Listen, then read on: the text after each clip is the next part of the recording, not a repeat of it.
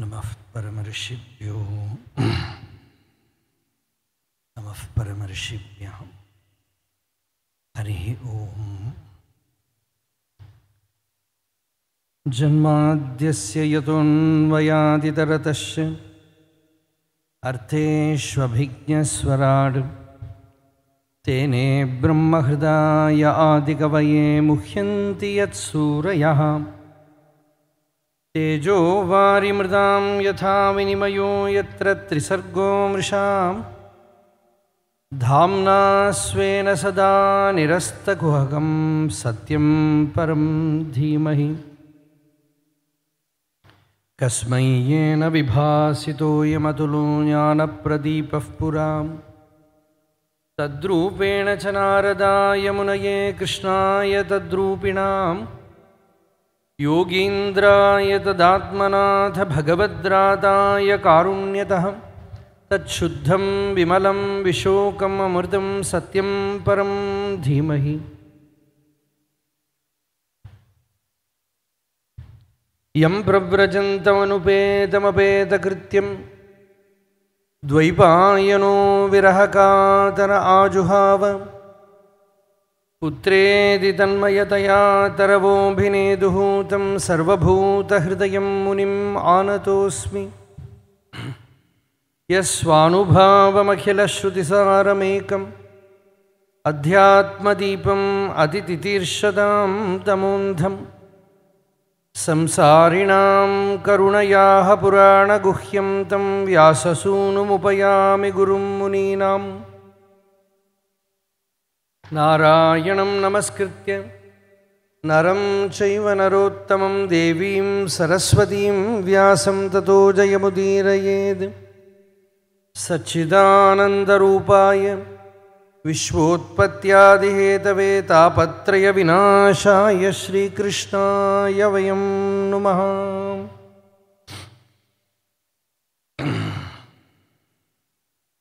इन्नले ഭിക്ഷുഗീതം ആരംഭിച്ച് അതിലേക്ക് പ്രവേശിക്കാതെ തന്നെ നിർത്തിക്കളഞ്ഞു. ഭാഗവതത്തിലെ ഏകാദശ സ്കന്ധത്തിലുള്ള മറ്റു പല ഭാഗങ്ങളും സ്പർശിച്ചു പോയി. എവിടെ പോയിട്ടു? എടാ പോണത്?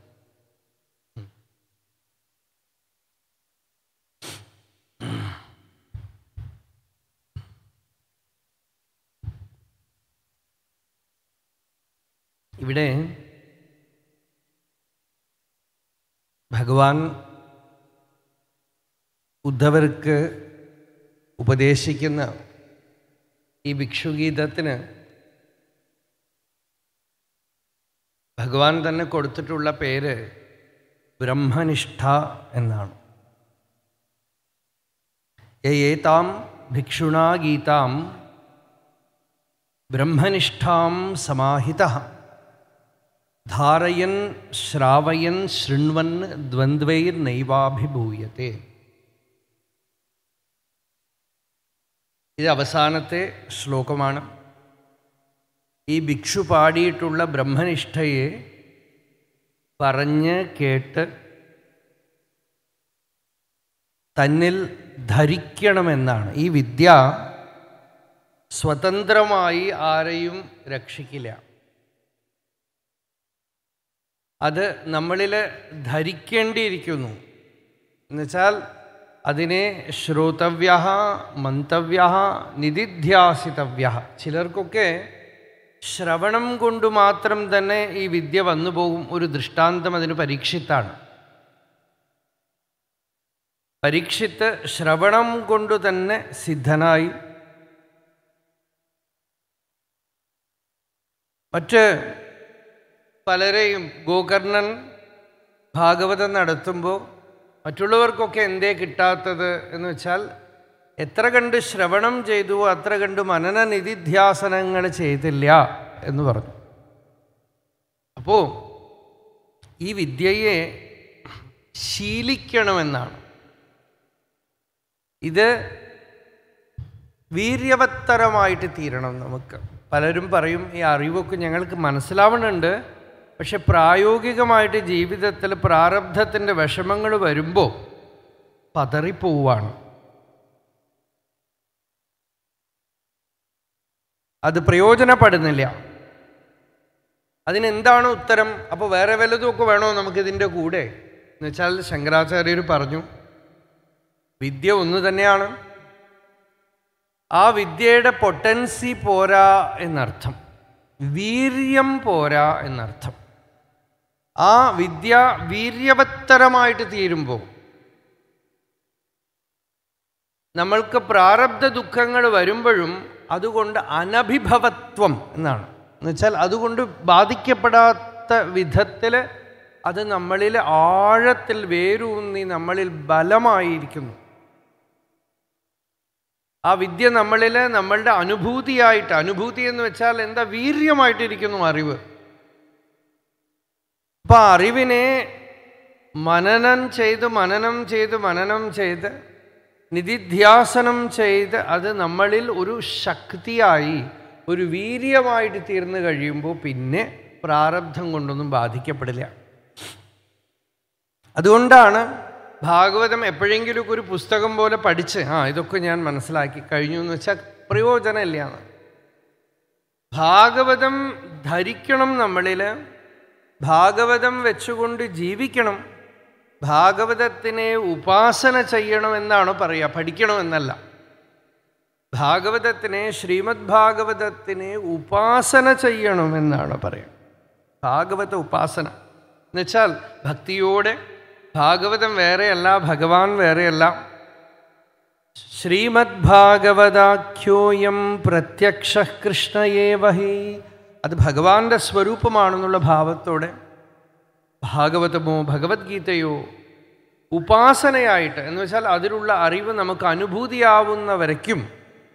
അത് ശ്രവണം ചെയ്ത് മനനം ചെയ്ത് നിധിധ്യാസനം ചെയ്ത് സാക്ഷാത്കാര പര്യന്തം ആ അറിവ് നമ്മളിൽ ശീലിക്കേണ്ടിയിരിക്കുന്നു. അനുശീലനം ചെയ്യേണ്ടിയിരിക്കുന്നു.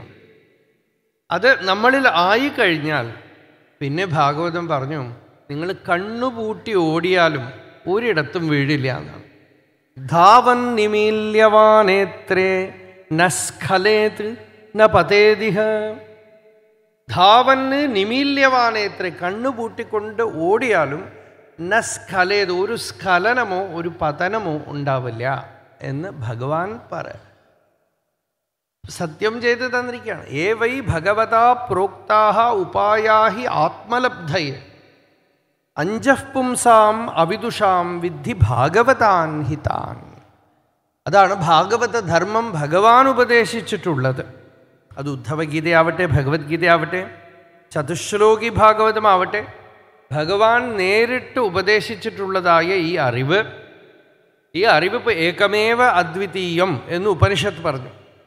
അതിനെ തന്നെ ഭാഗവതം എടുത്തിട്ട് ചതുശ്ലോകി ഭാഗവതത്തിന്റെ സാരമായി പറഞ്ഞു അഹമേവാസമേവാഗ്രെ നാണ്യദ്യത് സദസത്പരം പശ്ചാദഹം യഥേതച്ഛ യോവശിഷ്യേത സോസ്മ്യഹം.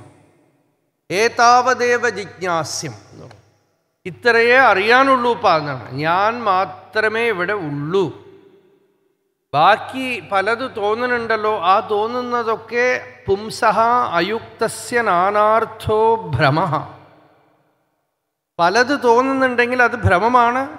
അതിൽ നിന്ന് ഗുണം ദോഷം ഇത് അതൊന്ന് പല വിധത്തിലുള്ള വികല്പങ്ങൾ വരും. മനസ്സിന് ശാന്തി ഉണ്ടാവില്ല. മനസ്സ് അചലമാവില്ല സ്വരൂപത്തിൽ നിഷ്ഠമാവില്ല. അതുകൊണ്ട് ഈ വിദ്യയെ ശീലിച്ച് ഈ അറിവിനെ അറിവിത് തന്നെയാണ്. ഒന്നായ നിന്നെ ഇഹ രണ്ടെന്നു കണ്ടളവിൽ ഉണ്ടായൊരു ഇണ്ടൽബത്തം ഉണ്ടാവതല്ല മമ.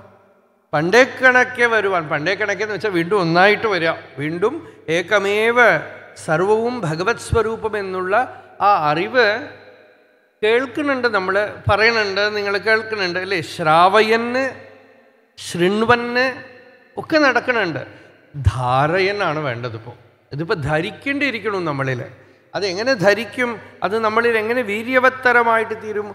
ഉപാസന കൊണ്ട് ധ്യാന മനന നിധിധ്യാസനം കൊണ്ട് അത് നമ്മളുടെ പ്രകൃതിയായിട്ട് തീർന്നു കഴിയുമ്പോൾ നമുക്ക് സഹജമായിട്ട് തന്നെ ആ അറിവ് നമ്മളിൽ പ്രവർത്തിച്ചു കഴിയുമ്പോൾ സർവത്ര ഭേദബുദ്ധി പോയി സർവവും ആത്മസ്വരൂപമായി ഭഗവത് സ്വരൂപമായി അറിയുമ്പോൾ ഇവർക്ക് അവിദ്യ നിവൃത്തി ഉണ്ടാവും. ഇതിനെയാണ് ബ്രഹ്മനിഷ്ഠ എന്നിവിടെ പറഞ്ഞത്. ഈ ബ്രഹ്മനിഷ്ഠയ്ക്ക് എന്താ തടസ്സം? തടസ്സം ഇത്രയേ ഉള്ളൂ നമ്മളുടെ മനസ്സ്. ഈ മനസ്സാണ് ഒരു തടസ്സം. അതാണ് ഇപ്പോൾ ഇവിടെ ഭഗവാൻ പറയാൻ പോണ കഥ. ഉദ്ധവ അറിവ് ഇത്രയേ ഉള്ളൂപ്പാ. ഈ അറിവ് എന്താന്ന് വെച്ചാൽ ഈ ശരീരം ഞാനല്ല. ഞാൻ ആത്മാവാണ്. ശുദ്ധ ചൈതന്യമാണ് ഇത് ഗുരുമുഖത്ത് നിന്ന് കേട്ടു നല്ലവണ്ണം വിചാരം ചെയ്തു. തന്നിലെ ധ്യാനസ്ഥിതിയിൽ കണ്ടറിഞ്ഞു. പക്ഷെ വ്യവഹാരത്തിലേക്ക് വരുമ്പോൾ ഉണ്ടല്ലോ പിന്നെയും ഇണ്ടൽ എന്ന് പറഞ്ഞില്ലേ ഉണ്ടായൊരു ഇണ്ടൽ എന്താണെന്ന് വെച്ചാൽ ആ ഉള്ളിലുള്ള അനുഭവം വ്യവഹാരത്തിൽ വരുമ്പോൾ കോൺഫ്ലിക്റ്റായി വിഷമങ്ങളായി രാഗദ്വേഷങ്ങളായി മനസ്സിൽ വികല്പങ്ങളുണ്ടായി ശാന്തിയില്ലാതായി. അപ്പോൾ ആ വ്യവഹാരത്തിൽ വരുമ്പോൾ അത് മറന്നു പോവാതിരിക്കണമെങ്കിൽ വ്യവഹരിക്കുമ്പോഴും എന്തൊക്കെ തന്നെ നമ്മളുടെ പ്രാരബ്ധത്തിന്റെ കൂത്ത് നടന്നാലും അതിലും ഞാൻ ഇതൊന്നും മറക്കാതെ അർജുനനോട് ഭഗവാൻ അതിനാണ് ആ യുദ്ധഭൂമിയിൽ ഉപദേശിച്ചത്. എന്നുവെച്ചാൽ കുടുംബത്തിൽ ഉപദേശിച്ചാൽ തന്നെ നമ്മൾ പറയണു സാധിക്കണില്ല എന്ന് പറയണു. അർജുനനോട് ഭഗവാൻ പറയണത് യുദ്ധത്തിൽ നിന്ന് ഇത് സാധിക്കുമപ്പാ എന്നാണ് മാ മനുസ്മര യുദ്ധത്ത് എന്നെ ഓർത്തുകൊണ്ട് യുദ്ധം ചെയ്യുമെന്നു. അതെങ്ങനെയാ അപ്പം ഭഗവാനെ? ആളുകൾ പറയണു ഇത് ഓർത്തുകൊണ്ട് സാമ്പാർ ഉണ്ടാക്കാൻ പറ്റണില്ല എന്ന് പറയണു. ഇത് ഓർത്തുകൊണ്ട് അടിച്ചു തെളിക്കാൻ പറ്റണില്ല എന്ന് പറയണു. അർജുനനോട് ഭഗവാൻ പ്രതീക്ഷിക്കണതോ ഇത് ഓർത്തുകൊണ്ട് യുദ്ധം ചെയ്യുമെന്നാണ് എന്നുവെച്ചാൽ ഏറ്റവും വികല്പാത്മകമായ ഉഗ്രമായ പ്രാരബ്ധമുള്ള ഒരാളെ തെരഞ്ഞെടുത്തിട്ടാണ് ഉപദേശിക്കുന്നത് ഉഗ്രപ്രാരബ്ധം. എന്ന് വെച്ചാൽ അയാളെ കൊണ്ട് ഇട്ടിട്ട് പോകാൻ പറ്റില്ല. യുദ്ധത്തിന്റെ നടുക്ക് യുദ്ധഭൂമിയുടെ നടുക്ക് നിന്നുകൊണ്ടാണ് ഉപദേശിക്കുന്നത് അർജുന യോഗീ ഭവ.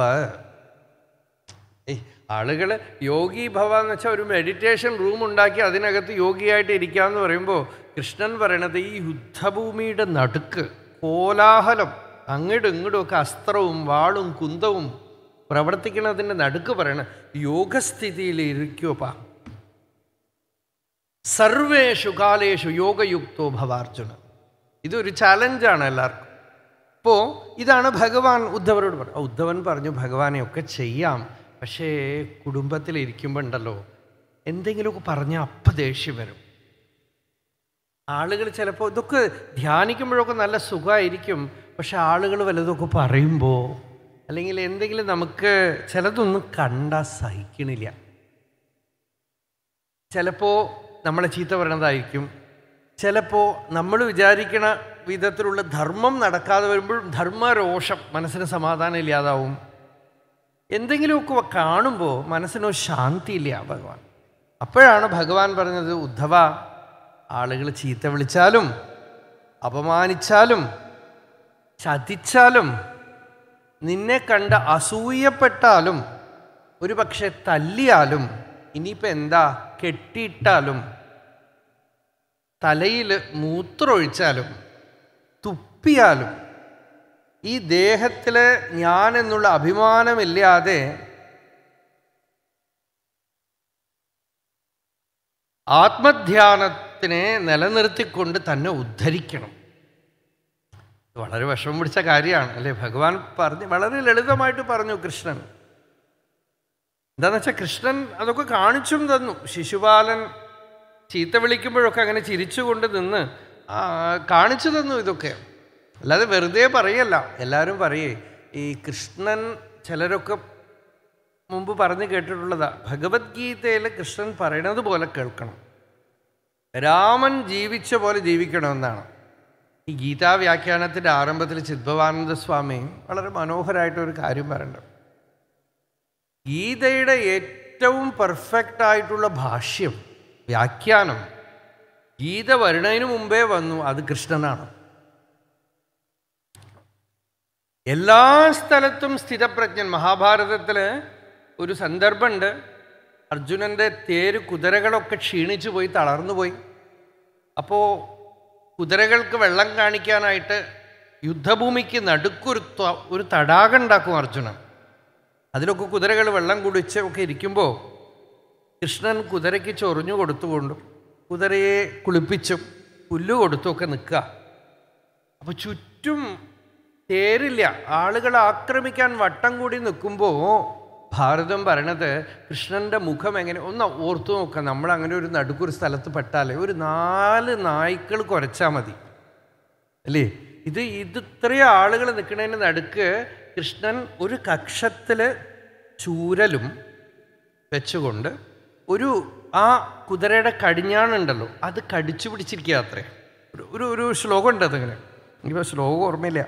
എന്നിട്ട് ആ മുഖഭാവം നോക്കുമ്പോൾ ഗോപസ്ത്രീ പരിവൃതനായി നിൽക്കുന്ന കൃഷ്ണന്റെ മുഖഭാവം അത്ര യുദ്ധഭൂമിയിൽ അപ്പോൾ സ്ഥിതപ്രജ്ഞസ്യ കാ ഭാഷ ഇതാണ്. ഇതാണ് സ്ഥിതപ്രജ്ഞന്റെ ഭാഷ. അപ്പൊ എവിടെയാണെങ്കിലും അതെ. അപ്പൊ അത് കൃഷ്ണൻ ആ സ്ഥിതിയിലാണ് അർജുനനോട് ഉദ്ധവനോട് പറയണത്. എന്തൊക്കെ തന്നെ വരട്ടെ. ഇതൊക്കെ നമുക്ക് കുടുംബത്തിലൊക്കെ ഇരിക്കുമ്പോഴേ ചെറിയ ചെറിയ വിഷമങ്ങൾ വരുമ്പോൾ നമ്മൾ വിഷമിക്കുമ്പോൾ ഇതെടുത്തൊന്ന് വായിച്ചാൽ ഈ ഭിക്ഷുഗീത എടുത്ത് വായിച്ചാൽ അവമാനിച്ചാലും നിന്ദിച്ചാലും ചീത്ത പറഞ്ഞാലും ഒക്കെ സന്തോഷമായിട്ട് കേട്ടോളാണ് ഒക്കെ ഒന്നും എന്നെ അല്ല ഇതൊക്കെ ഇപ്പം ഈ ശരീരത്തിനല്ലേ പറയണത്? രമണ മഹർഷിയുടെ അടുത്ത് ഒരാൾ ചോദിച്ചു മറ്റുള്ളവർ നമ്മളെ ചീത്ത വിളിക്കുമ്പോൾ നമ്മൾ എന്ത് ചെയ്യണം? എന്ന് ചോദിച്ചു. മഹർഷി പറഞ്ഞു നീയും അവരുടെ കൂടെ ചേർന്ന് ചീത്ത വിളിച്ചോളൂ. കാരണം നീ ചീത്ത വിളിക്കേണ്ട ശരീരത്തിന് അവരൊരു സഹായം ചെയ്ത് തരികയാണ് നീ അല്ല ഇത്. അതുകൊണ്ട് അവർ ചീത്ത വിളിക്കുമ്പോൾ ഉപകാരമാണ് ചെയ്യണത്. സഹിച്ചോളാണ്. ചേർത്ത് വിളിച്ചോളൂ. അപ്പോൾ മഹർഷി മലയിലിരിക്കുമ്പോൾ ഒരാൾ ഇതുപോലെ പല ഉപദ്രവം ചെയ്തു. ഒരു ദിവസം നല്ലവണ്ണം മുഖത്ത് തുപ്പി. നിഷ്ഠിതവും എന്ന് പറഞ്ഞല്ലോ തുപ്പി. പിന്നെ മലമൂത്രം കൊണ്ടുവന്ന് മേത്ത് ഒഴിച്ചിട്ടുണ്ട്. ഇരുപാക്ഷ ഗുഹയിലിരിക്കുമ്പോൾ. ഈ തുപ്പിയ കഥ ഒരു ഭക്തൻ വളരെയധികം ദേഷ്യത്തിൽ പോയിട്ട് ഭഗവാനെ നിങ്ങളുടെ മുഖത്ത് തുപ്പി എത്ര? എന്ത് ചെയ്തു? തുടച്ചു. എത്രയോ പ്രാവശ്യം തുപ്പിയ ശരീരമല്ലേ? എന്നുള്ളത് ഇതിലിപ്പോൾ എന്തിരിക്കുന്നു? അപ്പോൾ ഈ ഭിക്ഷുവിന്റെ അപ്പോഴാണ് ഉദ്ധവൻ പറഞ്ഞു ഭഗവാനെ ഇതൊക്കെ പറയാം. പക്ഷെ നല്ല പഠിച്ച ആളുകൾക്ക് പോലും പ്രാക്ടിക്കലായിട്ട് പ്രായോഗികമായിട്ട് വരുമ്പോൾ ജീവിതത്തിൽ ഈ വിഷമങ്ങൾ വരുമ്പോൾ ഒന്ന് ഒന്ന് നില കുലഞ്ഞു പോവും. ആരെങ്കിലുമൊക്കെ നിന്ദിക്കുകയോ ചീത്ത വിളിക്കുകയോ ഒക്കെ ചെയ്താൽ ആത്മനി അസതതിക്രമം. മറ്റുള്ളവർ നമ്മളെ നിന്ദിക്കുകയും മറ്റുമൊക്കെ ചെയ്യുമ്പോൾ വിദുഷാമപി വിശ്വാത്മൻ പ്രകൃതിർഹി ബലീയസി നല്ല അറിവുള്ളവർക്ക് പോലുമേ ഭഗവാനെ ഇപ്പോൾ രാമായണത്തിൽ നോക്കുക. ഭഗവാൻ ഈ യോഗവാസിഷ്ടമൊക്കെ കേട്ടു. വാൽമീകിയുടെ തന്നെ കൃതിയായിട്ടാണ് പറയണത്. തത്വജ്ഞനാണ്. വിദ്യമാം ഋഷിഭിസ്തുല്യം വിമലം ധർമ്മമാസ്ഥിതമെന്നാണ് രാമൻ പറയണത്. പക്ഷേ സീതയെ പിരിഞ്ഞപ്പോൾ ഇങ്ങനെ കരഞ്ഞു വിളിച്ച് കരയാണ്. അവിടെ പ്രകൃതിരിഹി വലിയസി എന്ന് കാണിച്ചു തരികയാണ് ഭഗവാൻ. അതാണ് ഭാഗവതത്തിൽ പറഞ്ഞ സ്ത്രീ സംഗീണാം ഗതിമിതി പ്രഥയൻശ്ചാര അങ്ങനെ ഉറക്കെ കരഞ്ഞു വിളിക്കാം. എന്നിട്ട് രാമായണത്തിൽ ലക്ഷ്മണൻ പറഞ്ഞു കൊടുക്കും ശോകോ ശൗര്യം ശോകോ നാശയത്തെ ശ്രുതം. ഈ ഇങ്ങനെ ശോചിക്കരുത് ദുഃഖിക്കരുത്. ഒന്ന് നിയന്ത്രിച്ച് മനസ്സിനെ ശാന്തമാക്കി ഇരുത്ത ലക്ഷ്മണനല്ല സുഗ്രീവൻ പോലും ഉപദേശിക്കുന്നുണ്ട്. രാമനപ്പോൾ വളരെ വിനയത്തോടുകൂടെ ആ എനിക്ക് വേണ്ട സമയത്ത് നിങ്ങളൊരു സുഹൃത്തായിട്ട് ഉപദേശിക്കണുണ്ടല്ലോ എന്നാണ് പറയണത്. അപ്പോൾ ഇത് എല്ലാവർക്കും വേണ്ടതാണത് നമുക്കൊന്ന് മറന്നു പോകും മറന്നു പോകുമ്പോൾ ആരെങ്കിലുമൊക്കെ ഒന്ന് പറഞ്ഞാൽ സമാധാനമായി അറിവുള്ളവർക്കും ഒന്ന് ഈ മറക്കുക എന്നുള്ളത് പ്ര ആത്മാവിന്റെ തന്നെ ശക്തിയാണത്. മത്തഹ സ്മൃതി ജ്ഞാനം അപോഹനം ച എന്നാണ്. ഇത് ഓർക്കലും മറക്കലും ഒക്കെ ഉള്ളിലുള്ള ശക്തിയാണ്. ഇടയ്ക്ക് മറന്നുപോകും എല്ലാം അറിയുന്ന ആളുകൾ പോലും ഒരു ക്ഷണം മറന്നുപോകും. മറന്നുപോകും. ആ മറന്നു പോവാതിരിക്കാൻ ആരെങ്കിലുമൊക്കെ ഭാഗവതന്മാരോ ഭക്തന്മാരോ ഗുരുക്കന്മാരോ വന്ന് ഒന്ന് ഓർമ്മിപ്പിച്ചാൽ ആ സന്തോഷമാവും നമുക്ക് അങ്ങ് ഓർമ്മിപ്പിച്ചുവല്ലോ. സ്മരന്ത സ്മാരയന്തശ ഒന്ന് ഓർമ്മിപ്പിക്കുമ്പോൾ സന്തോഷമാവും അപ്പോൾ ഇവിടെ ഉദ്ധവനോട് ഭഗവാൻ ഓർമ്മിപ്പിക്കുകയാണ് ഹേ ഉദ്ധവ ഞാനൊരു കഥ പറഞ്ഞു തരാം. കഥ എന്ന് വെച്ചാൽ നേരിട്ട് കണ്ടിട്ടുള്ളതാണ്. അവന്തിയിൽ കൃഷ്ണൻ പഠിച്ചത് അവിടെയാണ്. കൃഷ്ണൻ സാന്ദീപിനി മഹർഷിയുടെ ആശ്രമത്തിൽ പോയി പാഠശാലയിലൊക്കെ പഠിച്ചത് അവിടെയാണ്. അപ്പോൾ ചിലപ്പോൾ അവിടെ കണ്ടതായിരിക്കാം അവിടെ കേട്ട കഥയായിരിക്കാം അറിഞ്ഞ കഥയായിരിക്കാം. അവന്തിയിൽ നടന്ന ഒരു കഥ ഞാൻ പറഞ്ഞു തരാം. നേരിട്ട് അറിഞ്ഞ കഥയാണ് ഞാൻ പറഞ്ഞു തരാം. ആ കഥയെ ഭട്ടതിരി ഇന്നലെ ഞാൻ ആ ശ്ലോകം ആരംഭത്തിൽ തന്നെ ചൊല്ലി. ഒരു വലിയ കഥ ഒരു വൽ വൈയാകരണനാണല്ലോ നാരായണ ഭട്ടത്തിരി അദ്ദേഹം ഒരു വലിയ കഥയെ ചുരുക്കി ഒറ്റ ശ്ലോകം. ഭഗവത്ഗീത മുഴുവൻ ചുരുക്കി ഒരു ശ്ലോകമാക്കിയിട്ടുണ്ട് നാരായണീയത്തിൽ. ഇത് ഒരു കഥ മുഴുവൻ ചുരുക്കി ഒരു ശ്ലോകം. കശ്ചിത് ക്ലേശാർജിതാർത്ഥ ക്ഷയവിമലമതി നുദ്യമാനോ ജനൗഘൈ പ്രാഗേവം പ്രാഹ വിപ്രഹാം ന ഖലു മമ ജനാ കാലകർമ്മഗ്രഹാവാം ചേതോ മേ ദുഃഖഹേതു തദിഹ ഗുണഗണം ഭാവയൻ സർവകാരീത്യുക്വാ ശാന്തോ ഗതഃ ത്വം മമ ച കുരു വിഭോ താദൃശീം ചിത്തശാന്തിം ഒരു ഒരു ഒരു പ്രാർത്ഥനയും കൂടെ അതിൽ ചേർത്തു ആ ഭിക്ഷുവിനെ പോലെ എനിക്കും ഹേ ഭഗവാനെ ചിത്തശാന്തി മനസ്സില്ലാത്ത ജ്ഞാനസ്ഥിതി എനിക്കും ഭഗവാനെ തന്ന് അനുഗ്രഹം ചെയ്യൂ എന്ന് പ്രാർത്ഥിക്കാം. കശ്ചിത് ക്ലേശാർജിതാർത്ഥ ക്ഷയ വിമലമതി ഒറ്റ വരിയിൽ എല്ലാം കൂടെ അങ്ങോട്ട് അടക്കി ഒരുപാട് വിഷമിച്ച് പണം സമ്പാദിച്ചു അത്ര ഒരു ബ്രാഹ്മണൻ. ധാരാളം സമ്പാദിച്ചു. ക്ലേശാർജിതാർത്ഥം അത് പിന്നാലെ പറയണുണ്ട്. ധർമ്മത്തിനും ഉപയോഗമില്ല. അധർമ്മത്തിന് കാരണമായി നാശത്തിന് കാരണമായി എന്നൊക്കെ ഇപ്പോൾ പറയും. ഒരുപാട് സമ്പാദിച്ചു. പല ആളുകളും അങ്ങനെയാണ്. സമ്പാദിച്ച് കൂട്ടി വലിയ പാലസ് പോലെ ഒരു വീട് കെട്ടി. എനിക്കറിയാം. ഒരു കഥ ഉള്ളിൽ മനസ്സിൽ വെച്ച് പറയാം ഞാൻ. ഒരു വളരെ വലിയ പാലസ് പോലെ അതിനകത്ത് സ്വിമ്മിംഗ് പൂളും അതും ഇതും ഒക്കെ ഉണ്ടാക്കി വലിയ വീട് കെട്ടി. ഒരു ദിവസം പോലും താമസിച്ചില്ല. എന്നിട്ട് ഇപ്പോൾ അത് വിൽക്കാനായിട്ട് നടക്കുകയാണ്. ആ കെട്ടിയുണ്ടാക്കണതിൽ തന്നെ കുറേ വർഷങ്ങൾ പോയി. തിരുവണ്ണാമലയിൽ ഞങ്ങൾ കാണുന്നതാണ്. പലരും വലിയ വലിയ വീടുകൾ കെട്ടും. എന്താണെന്ന് വെച്ചാൽ അവിടെ താമസിക്കുക അവരാരും അവിടെ വരില്ല. ആരെങ്കിലുമൊക്കെ സന്യാസികൾ താമസിച്ചിട്ട് പോവും. ഈ ഭാഗവത്തിൽ ഈ സർപ്പം സർപ്പ പരകൃതം വേഷ്മ എന്ന് പറയുന്ന പോലെ ഇവർ താമസിച്ചിട്ട് പോകും കെട്ടണവർ കെട്ടിയിട്ട് പോകും വരില്ല അവർക്ക് പണമുണ്ട്. അപ്പോൾ വളരെ വിഷമിച്ച് പണം സമ്പാദിച്ച് എന്തൊക്കെയോ ചെയ്തു. എന്നിട്ട് അതിന്റെ സമാധാനവും ആനന്ദവും ഒന്നും അനുഭവിച്ചില്ല.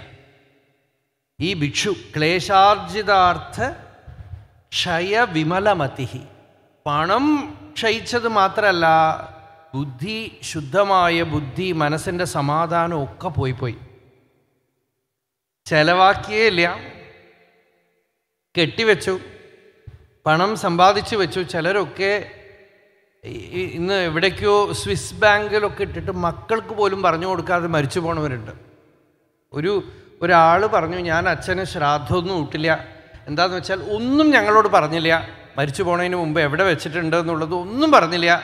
ഞാൻ ശ്രാദ്ധം ഇട്ടില്ല എന്ന് പറഞ്ഞു. ദേഷ്യമാണ് അവർക്ക്. എന്താന്ന് വെച്ചാൽ ഇതിനാണ് യക്ഷവിത്തം എന്ന് പറയണത്. യക്ഷവിത്ത പതത്യഥ ആണ് ഈ യക്ഷവിത്തം ഒരു കഥയാണ്. ഒരു രാജാവിന്റെ ഒരു ഒരു ഒരു ക്ഷുരകൻ അയാൾ ബാർബർ. അയാൾ ഇടയ്ക്ക് രാജാവ് മാസമായ നൂറ് പൊന്നു കൊടുക്കും അയാൾക്ക്. അതാണ് അയാൾക്കുള്ള ഒരു സമ്പാദ്യം. അയാൾ ഒരു ദിവസം ഇങ്ങനെ സന്ധ്യ ആവുമ്പോൾ അയാൾക്ക് തോന്നി കുറച്ച് പണം കിട്ടിയാൽ നന്നായിരിക്കുമല്ലോ എന്ന് മനസ്സിലൊരാഗ്രഹം. കൂടുതലായാൽ.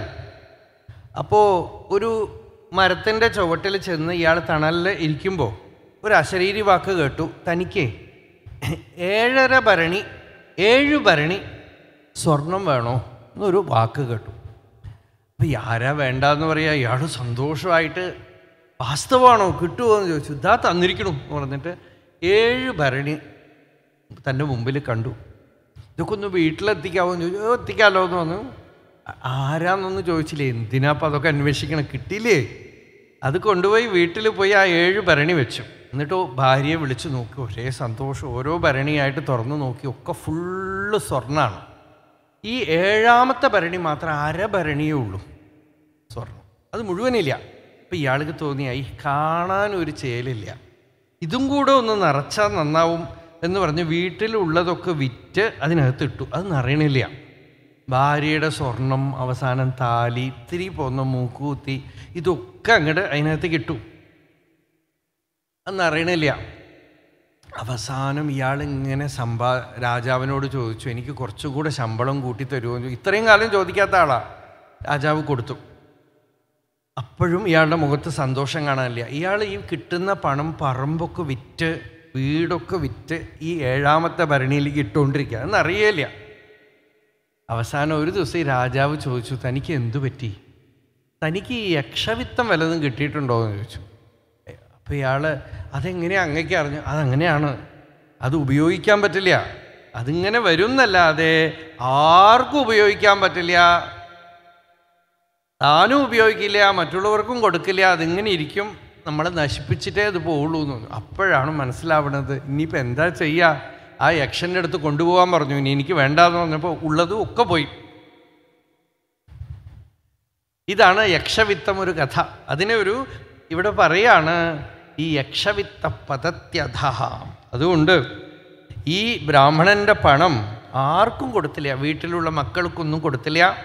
താനും അനുഭവിച്ചില്ല. യോ ന ദദാതി ന ഭുങ്ക്തെ തസ്യ തൃതീയാഗതിർഭവതി എന്നാണ്. ആർക്കും കൊടുത്തുമില്ല താനും അനുഭവിച്ചില്ല. അവന്റെ കാര്യം കഷ്ടത്തിലാണ്. ജ്ഞാതയ ജഗൃഹു കിഞ്ചിത് കിഞ്ചിത് ദസ്യവൗദ്ധവ ദൈവത കാലത കിഞ്ചിത് ബ്രഹ്മബന്ധോഹോ നൃപാർത്ഥിവാത്. ഇയാൾ ബ്രാഹ്മണനല്ല ബ്രഹ്മബന്ധുവാണെന്നാണ്. എന്നുവെച്ചാൽ ബ്രാഹ്മണന്റെ ഒരു ലക്ഷണവുമില്ല. ജന്മം കൊണ്ട് മാത്രം ബ്രാഹ്മണൻ ബ്രാഹ്മണാൻ ബന്ധൂൻ വ്യപതിശതി ന സ്വയം ബ്രാഹ്മണവൃത്ത എന്നാണ്. വെറും ബ്രാഹ്മണന് ഒരു ബന്ധു ഇയാളൊന്നും പ്രയോജനമില്ല. അതുകൊണ്ട് അയാളുടെ പണമൊക്കെ പോയി. ധർമ്മവുമില്ല. മോക്ഷമാർഗം പോട്ടെ. ധർമ്മവുമില്ല അർത്ഥത്തിനെ ഉപയോഗിച്ച് തന്റെ സുഖവും അനുഭവിച്ചില്ല.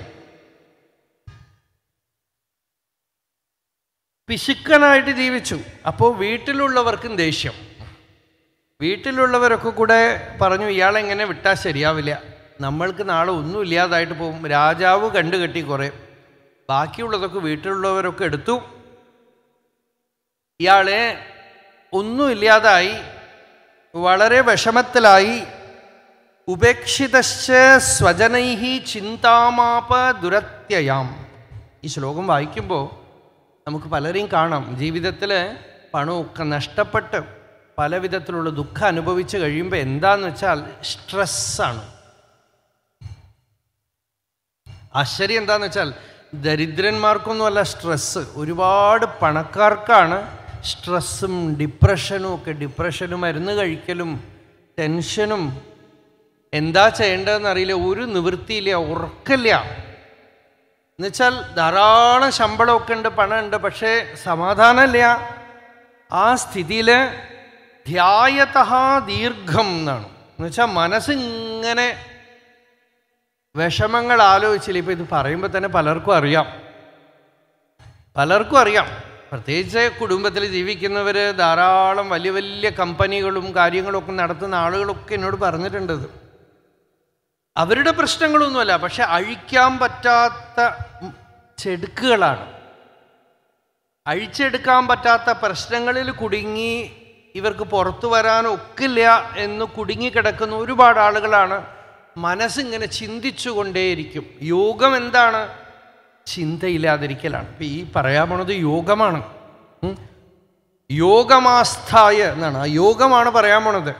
ഭിക്ഷുവിന്റെ യോഗമാണ് പറയാൻ പോണത്. യോഗം എന്താ? ചിത്തവൃത്തി നിരോധ. എല്ലാവർക്കും കാംക്ഷണീയമായ സ്ഥിതിയാണ്. യോഗം എന്താണ്? എങ്ങനെയെങ്കിലുമൊക്കെ മനസ്സ് ശാന്തമായിട്ടിരിക്കണം. പരോഹി യോഗ മനസ്സ സമാധി എന്നാണ് ആ ഭിക്ഷു പറയാൻ പോണത്. നിങ്ങൾ എന്തൊക്കെ പഠിച്ചൊക്കെ കഴിഞ്ഞാലും ഈ വേദാന്തം ഉണ്ടല്ലോ വേദാന്തം നല്ല പരമവൈരാഗ്യത്തോടുകൂടെ മുമുക്ഷുത്വത്തോടുകൂടെ ഉപാസനാശുദ്ധിയോടുകൂടെ കർമ്മവിശുദ്ധിയോടുകൂടെ ഒരു ഉത്തമ ആചാര്യന്റെ അടുക്കൽ നിന്നും വേണ്ട വിധത്തിലാണ് ശ്രവിക്കണതെങ്കിൽ ചിലപ്പോൾ ശ്രവണ മാത്രം കൊണ്ട് ഒരാൾ ജീവൻ മുക്തനായി പോകും. അങ്ങനെ അല്ലാതെ അതൊരു ശാസ്ത്രം മാത്രമായിട്ട് പഠിപ്പിക്കുന്ന ആൾക്കും അതിനെക്കുറിച്ച് വലിയ നിശ്ചയമൊന്നുമില്ല. പഠിക്കുന്ന ആളും വെറും ശാസ്ത്രം പഠിക്കാൻ വേണ്ടിയായിട്ടാണ് അവിടെ പോയിരിക്കുന്നതെങ്കിൽ പണ്ട് ഞങ്ങളുടെ കുട്ടിക്കാലത്ത് തൃശ്ശൂർ രാമകൃഷ്ണാശ്രമത്തിലെ ഒരു പിഷാരടി മാഷ് ടി പി നാരായണ പിഷാരടി മാഷ് നാരായണ ഉപനിഷത്ത് പറയും.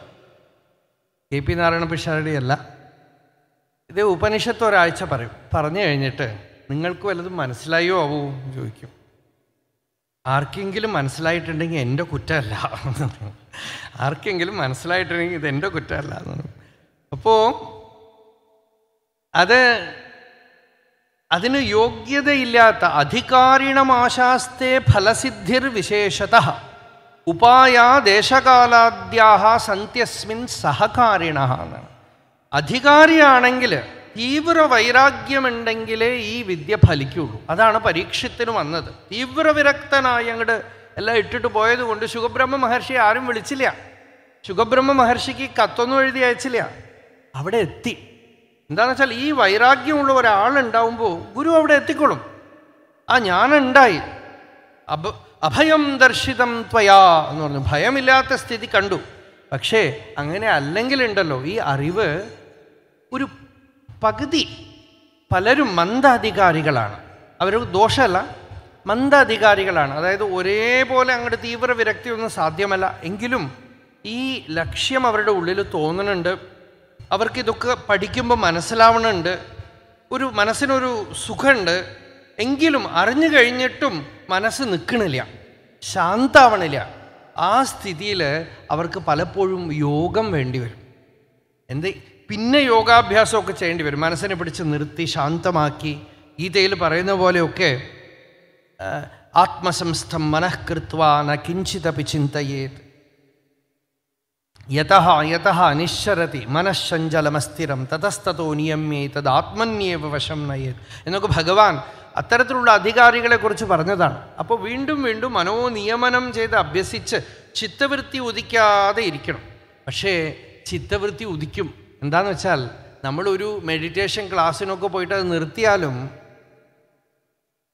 നമ്മൾക്ക് വിരക്തിയില്ലാത്തത് കൊണ്ടും ചിത്തവൃത്തി ഉണ്ടാക്കാൻ വേണ്ട സാഹചര്യം നമ്മൾക്ക് ചുറ്റുമുള്ളത് കൊണ്ടും വീണ്ടും ചിത്തം ചിന്തിക്കും. അതിനുള്ള ഹേതു പോയിട്ടില്ല കാരണം പോയിട്ടില്ല. ചിത്തം ചിന്തിക്കാൻ വേണ്ട കാരണം ഒരു കാരണം നമ്മളുടെ ഉള്ളിലുള്ള അറ്റാച്ച്മെന്റാണ് ആസക്തിയാണ്.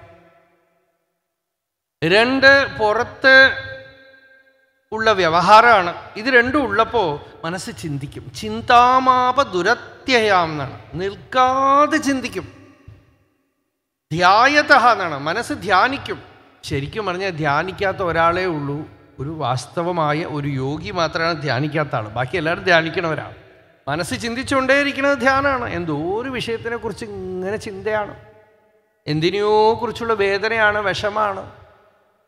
അത് ധ്യാനമാണല്ലോ ആ ധ്യാനത്തിനെ കുറിച്ചാണ് പറയുന്നത്. ഈ ബ്രാഹ്മണൻ കുറേ ചിന്തിച്ചു. ഡിപ്രസ്ഡായി. വിഷാദമഗ്നനായി. അതാണ് ഗീതയിൽ അർജുനന്റെയും സ്ഥിതി. വിഷാദയോഗം. വിഷാദമഗ്നനായി വിഷണ്ണനായി. ആ വിഷണ്ണനായി ദീർഘശ്വാസം വിട്ടു. കയ്യിലുള്ള പണമൊക്കെ പോയി. ഖിദ്യത ബാഷ്പകണ്ഠസ്യ നിർവേദസ്സു മഹാൻ അഭൂത്. അത് ഭാഗ്യമാണ് കേട്ടോ. വിഷാദം വരും. വിഷാദം പലപ്പോഴും ഭ്രാന്ത് പോവും ഭ്രാന്തായിട്ട് തീരും. ചിലപ്പോൾ സ്യൂസൈഡ് സ്വയം അങ്ങോട്ട് കെട്ടിത്തൂങ്ങി ചാവുകയോ മറ്റൊക്കെ ചെയ്യും വിഷാദം വരുമ്പോൾ വിഷാദം യോഗമായിട്ട് തീരണത് പരമഭാഗ്യമുള്ളവർക്കേ സാധിക്കൂ. മുമ്പ് തന്നെ സത്സംഗം കിട്ടിയിട്ടുണ്ടെങ്കിൽ പല ആളുകളും പറയും ധാരാളം ഭാഗവതം കേട്ടു ഗീത കേട്ടു അപ്പോഴൊന്നും മനസ്സിലായില്ല. പക്ഷെ ഇപ്പോൾ ജീവിതത്തിൽ അതൊക്കെ വേണമെന്ന് വരുമ്പോൾ വിഷമങ്ങളൊക്കെ വരുമ്പോൾ ഇതിന്റെ പ്രാധാന്യം ഇപ്പോഴാണ് പിടികിട്ടണത്. മുമ്പ് തന്നെ അതൊക്കെ ഉള്ളിൽ കിട്ടിയത് വലിയ അനുഗ്രഹമായി എന്ന് പറയും. അപ്പോൾ സത്സംഗം ഇത് വിദ്യാരണ്യ സ്വാമികൾ പഞ്ചദശിയിൽ പറയുന്നുണ്ട് സത്സംഗം ഉള്ള ആളുകളും ഇല്ലാത്ത ആളുകൾക്കും എന്താ വ്യത്യാസം? സത്സംഗം ഉള്ളവരും ചിലപ്പോൾ വിഷമിക്കും കരയും ഒക്കെ ചെയ്യും. പക്ഷേ അവർ വിഷയങ്ങളെ അനുഭവിക്കുമ്പോൾ അതിലൊരു ദോഷബുദ്ധി ഉണ്ടായിക്കൊണ്ടേയിരിക്കും.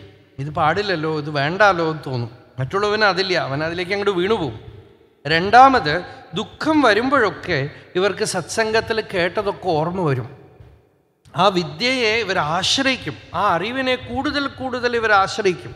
ഓരോരോ വിഷമവും ദുഃഖവും ഇവർക്ക് ഈ അറിവ് അനുഭവമായിട്ട് മാറാനുള്ള സഹായമായിട്ട് തീർന്നുകൊണ്ടേയിരിക്കും. അതാണ് സത്സംഗം കിട്ടിയവർക്കും കിട്ടാത്തവർക്കുമുള്ള പ്രയോജനം. ഇവിടെ ഈ ബ്രാഹ്മണന് ധാരാളം സത്സംഗം കിട്ടിയിട്ടുണ്ടാവാം. അല്ലാതെ സാധിക്കില്ല. എത്രയോ ജന്മങ്ങളിൽ ചെയ്ത പുണ്യം വിഷാദം വൈരാഗ്യത്തിന് കാരണമായിട്ട് തീർന്നു. തീവ്ര വിഷാദം വന്നപ്പോൾ ഒരു ക്ഷണ നേരം ഇല്ല ഇന്നലെ ഞാൻ ആ പട്ടണത്ത് സ്വാമികളുടെ കഥ പറഞ്ഞല്ലോ കുട്ടിയില്ല എന്ന് പറഞ്ഞ് ഒരുപാട് വിഷമിച്ചു. ഒരു കുഞ്ഞുണ്ടാവാൻ വേണ്ടി പരമേശ്വരനെ തപസ് ചെയ്തു. ഈശ്വരകൃപയ അവരുടെ മകനല്ല ആരുടെയോ ഒരു മകൻ കിട്ടി. ആ കുഞ്ഞിന്റെ അടുത്ത് വളരെയധികം ആസക്തനായി. ആ കുട്ടിയോ ഒരു ലോകസാമാന്യമായ ഒരു പുത്രനായിരുന്നില്ല. ആ കുട്ടി ഒരു ദിവസം ഒരു പൊട്ടിപ്പോയ ഒരു സൂചി തയ്യൽ സൂചി തയ്ക്ക് തുണി തയ്ക്കുന്ന സൂചി അതിന്റെ കാതറ്റുപോയ സൂചി അതൊരു പെട്ടിയിൽ വെച്ചിട്ട് ഒരു ഒരു ലെറ്റർ എഴുതി വെച്ചു കാതറ്റ ഊശിയും വാരാതെ കാൺ കടൈ വഴിക്കേ ഈ പൊട്ടിപ്പോയ ഊശി പോലും നിങ്ങൾക്ക് കയ്യിൽ കൊണ്ടുപോകാൻ പറ്റില്ല. എന്നിട്ടാണോ ഈ ഇത്ര സമ്പാദിച്ച് കൂട്ടണമെന്ന് എഴുതി വെച്ചു. ഇത്രയേ ഉള്ളൂ. ആ ഒരു തുണ്ട് കടലാസ് വായിച്ചതും വിരക്തനായി. നമ്മൾ എന്തൊക്കെ കാണുന്നു അല്ലേ ഭർതൃഹരി പറഞ്ഞു ഒന്ന് കണ്ടിട്ടും വൈരാഗ്യം വരണില്ലേ? എന്തൊരു ധൈര്യമാപ്പാ എന്ന് പറഞ്ഞു. ആദിത്യസ്യ ഗതാഗതൈരഹരഹ സംക്ഷീയത്തെ ജീവിതം വ്യാപാരൈർ ബഹുഭാര കാര്യഗുരുഭി കാലോപി ദൃഷ്ട്വാ ജന്മജരാ വിപത്തി മരണം ത്രാസശ്ചനോത്പദ്യത്തെ പീത്വാ മോഹമയീം പ്രമാദമതിരാം. ഉന്മത്തഭൂതം ജഗത്. ഒരു കള്ള് കുടിച്ചിരിക്കുകയാണ്. എന്താ കള്ള് എന്ന് വെച്ചാൽ അജ്ഞാനമാവുന്ന കള്ളു കുടിച്ച് പ്രമാദമാവുന്ന കള്ളു കുടിച്ച് തലയ്ക്ക് കയറിയിരിക്കുക. അതുകൊണ്ട് ഇവർക്ക് ഒന്നും ഭയമില്ല എന്നാണ് അവർക്ക് വൈരാഗ്യമേ വരുന്നില്ല. ആ സത്യം വേണമെന്നുള്ള ആഗ്രഹമേ വരുന്നില്ല. അപ്പോൾ പരീക്ഷത്തിന് മാത്രം വരാൻ കാരണം എന്താ? എത്ര രാജാക്കന്മാർ ദുഃഖിച്ചിട്ടുണ്ട് എത്ര രാജാക്കന്മാർക്ക് വിഷമം വന്നിട്ടുണ്ട് അവർക്കൊന്നും വൈരാഗ്യം വന്നില്ലല്ലോ. പരീക്ഷത്തിന് വൈരാഗ്യം വന്നു. എന്തേ? പരീക്ഷത്ത് തന്നെ പറയണുണ്ട് മാതുശമേയ ശരണം ഗതായാഹ എന്നാണ്. എന്റെ അമ്മ ഭഗവാന്റെ ചരണത്തിൽ ശരണാഗതി ചെയ്തു. ഭഗവാൻ ഗർഭത്തിന്റെ അകത്ത് ഗർഭത്തിന്റെ ഉള്ളിൽ അമ്മയുടെ വയറ്റിന്റെ ഉള്ളിൽ വന്ന് ദർശനം തന്നു. ആ അമ്മയെ കണ്ടതിന്റെ ഫലമാണ് കറക്റ്റായിട്ട് എപ്പോൾ വേണോ ആ സമയത്ത് ശുഭബ്രഹ്മ മഹർഷി തന്റെ മുമ്പിൽ വന്ന് നിന്നത് അന്യഥാത്തെ അവ്യക്തദേഹേ ദർശനം നഹ കഥം നൃണാം. അല്ലെങ്കിൽ അവ്യക്തഗതിയായിട്ടുള്ള അങ്ങയെ എങ്ങനെ കാണാൻ കിട്ടും? അഥവാ കണ്ടാൽ തന്നെ എങ്ങനെ മനസ്സിലാക്കും? ഇപ്പം ഞാൻ ശുഖബ്രഹ്മ മഹർഷിയാണ് എന്നൊന്നും പറഞ്ഞിട്ട് അദ്ദേഹം വന്നില്ല അവിടെ? മനസ്സിലായല്ലോ വീണ് നമസ്കരിച്ചുവല്ലോ. അപ്പോൾ അത്രയും നേരം നൃപഹ നൃപഹ എന്ന് പറഞ്ഞ് സൂതൻ പറഞ്ഞു മുനിം നൃപോ ഭാഗവതോ അഭ്യുപേത്യ എന്നാണ്. അവിടെ ഭാഗവതനായിട്ട് തീർന്നു എന്നാണ്. ശുഖാചാര്യരുടെ മുമ്പിൽ വീണ് നമസ്കരിച്ചതും ആ രാജാവ് ഇപ്പം രാജാവല്ല ഭാഗവത പരമഭാഗവതനായിട്ട് തീർന്നു. ശുഖബ്രഹ്മ മഹർഷിയുടെ അനുഗ്രഹത്തിന് പാത്രമായി തീർന്നുവല്ലോ അപ്പോൾ ആ വൈരാഗ്യത്തിന് കാരണമാവണത് സത്സംഗം കൊണ്ടാണ്. ഈ സത്സംഗം ഈ ഭിക്ഷുവിന് കിട്ടിയിട്ടുണ്ടാവണം. ഇവിടെ ഭഗവാൻ അത് വ്യക്തമായിട്ട് പറയണില്ല. പക്ഷെ വൈരാഗ്യം എന്നത് പറയണുണ്ട് ന ധർമായ ന കാമായ യസ്യ അർത്ഥായാസ ഈദൃശ. സജാഹേദം അഹോ കഷ്ടം വൃഥാത്മാമേ അനുതാപിത. എത്ര വിഷമിച്ച് ഞാൻ പണം സമ്പാദിച്ചു ഭഗവാനെ. കൂട്ടി കൂട്ടി വെച്ചു. അതുകൊണ്ട് ഒരു ധർമ്മകാര്യവും ചെയ്തില്ല. ലോകത്തിലുള്ള സുഖവും അനുഭവിച്ചില്ല. പ്രായേണാർത്ഥാഹ കദര്യാണം. ന സുഖായ ഇഹ ച ആത്മോപതാപായ മൃതസ്യ നരകായ ച. ഈ പണം അറിവില്ലാത്തവന് കുത്സിതഗതിയായിട്ടുള്ളവന് ദുരാചാരിക്ക് ഇവിടെ പണം സമ്പാദിച്ച് കൂട്ടുന്നതൊക്കെ എന്താന്ന് വെച്ചാൽ മക്കൾ വഴിതെറ്റിപ്പോവും അവർക്കും ഇന്ദ്രിയ നിഗ്രഹം ഉണ്ടാവില്ല. പലവിധത്തിലുള്ള ദുഃഖങ്ങൾക്ക് കാരണമായിട്ട് തീരും. മരണത്തിന് ശേഷമോ നരകത്തിന് ഗതിയായിട്ട് തീരും. അതുകൊണ്ട് ഒരു പതിനഞ്ചെണ്ണം ലിസ്റ്റ് ഇട്ട് പറയാണ്. ഏതേ പഞ്ചദശാഹി അനർത്ഥാഹ.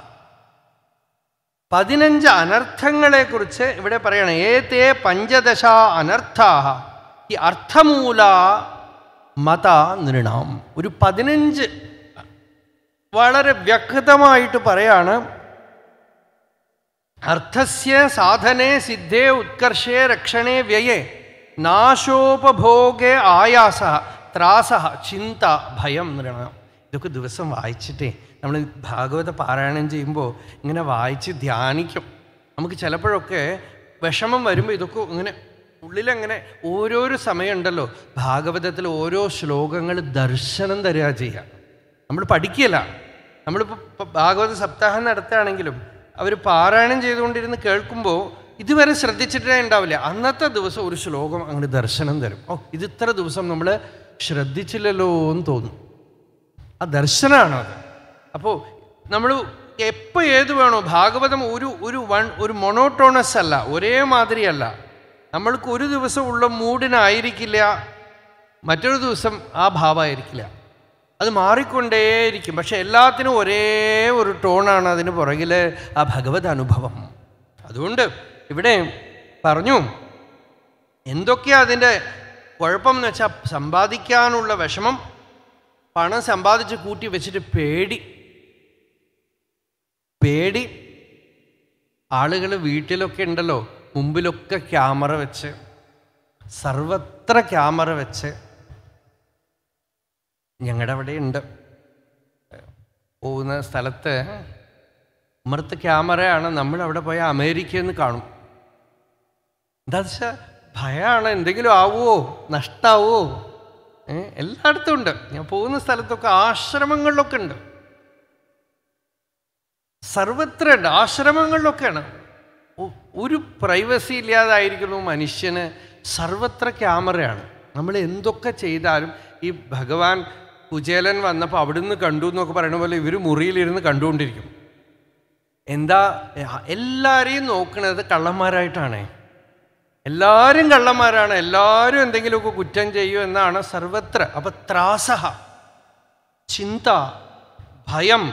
ഇതൊക്കെ ഇത് നോക്കൂ ഇതൊരു തമാശയല്ല കേട്ടോ. ഇത് ആ ഭിക്ഷുഗീതയ്ക്ക് മുമ്പ് ആ ഭിക്ഷു പറ അയാൾ എത്ര വലിയ പണക്കാരനായിരുന്ന ആൾ വളരെ വേദന അനുഭവിച്ചിട്ട് അവസാനം വിളിച്ചു പറയാണ് ഇതാണ് സ്ഥിതി ഭഗവാൻ ഇതാണ് സ്ഥിതി.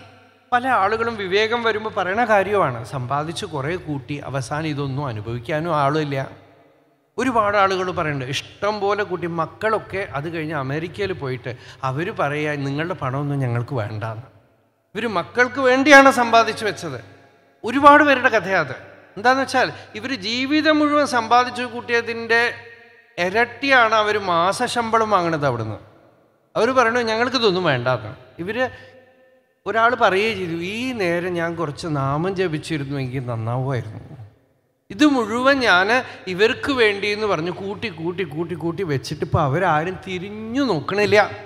മരിക്കണ സമയത്ത് ശങ്കരാചാര്യർ പറഞ്ഞു ദയിതാ മമ ദുഹിതാ മമ ജനനീ മമ ജനകോ മമ കൽപ്പിത മതിസന്തതി മരുഭൂമിഷു നിരതം. മനസ്സോ ഇതിങ്ങനെ വേവലാതിപ്പെടുക വിഷമിക്കുക. ഇതൊക്കെയാണ് ഇവിടെ ഭിദ്യന്തേ ഭ്രാതരോ ദാരാഹ പിതരഹ സുഹൃതസ്തഥാ. ഭാര്യയ്ക്കും ഭർത്താവിനും ഷണ്ട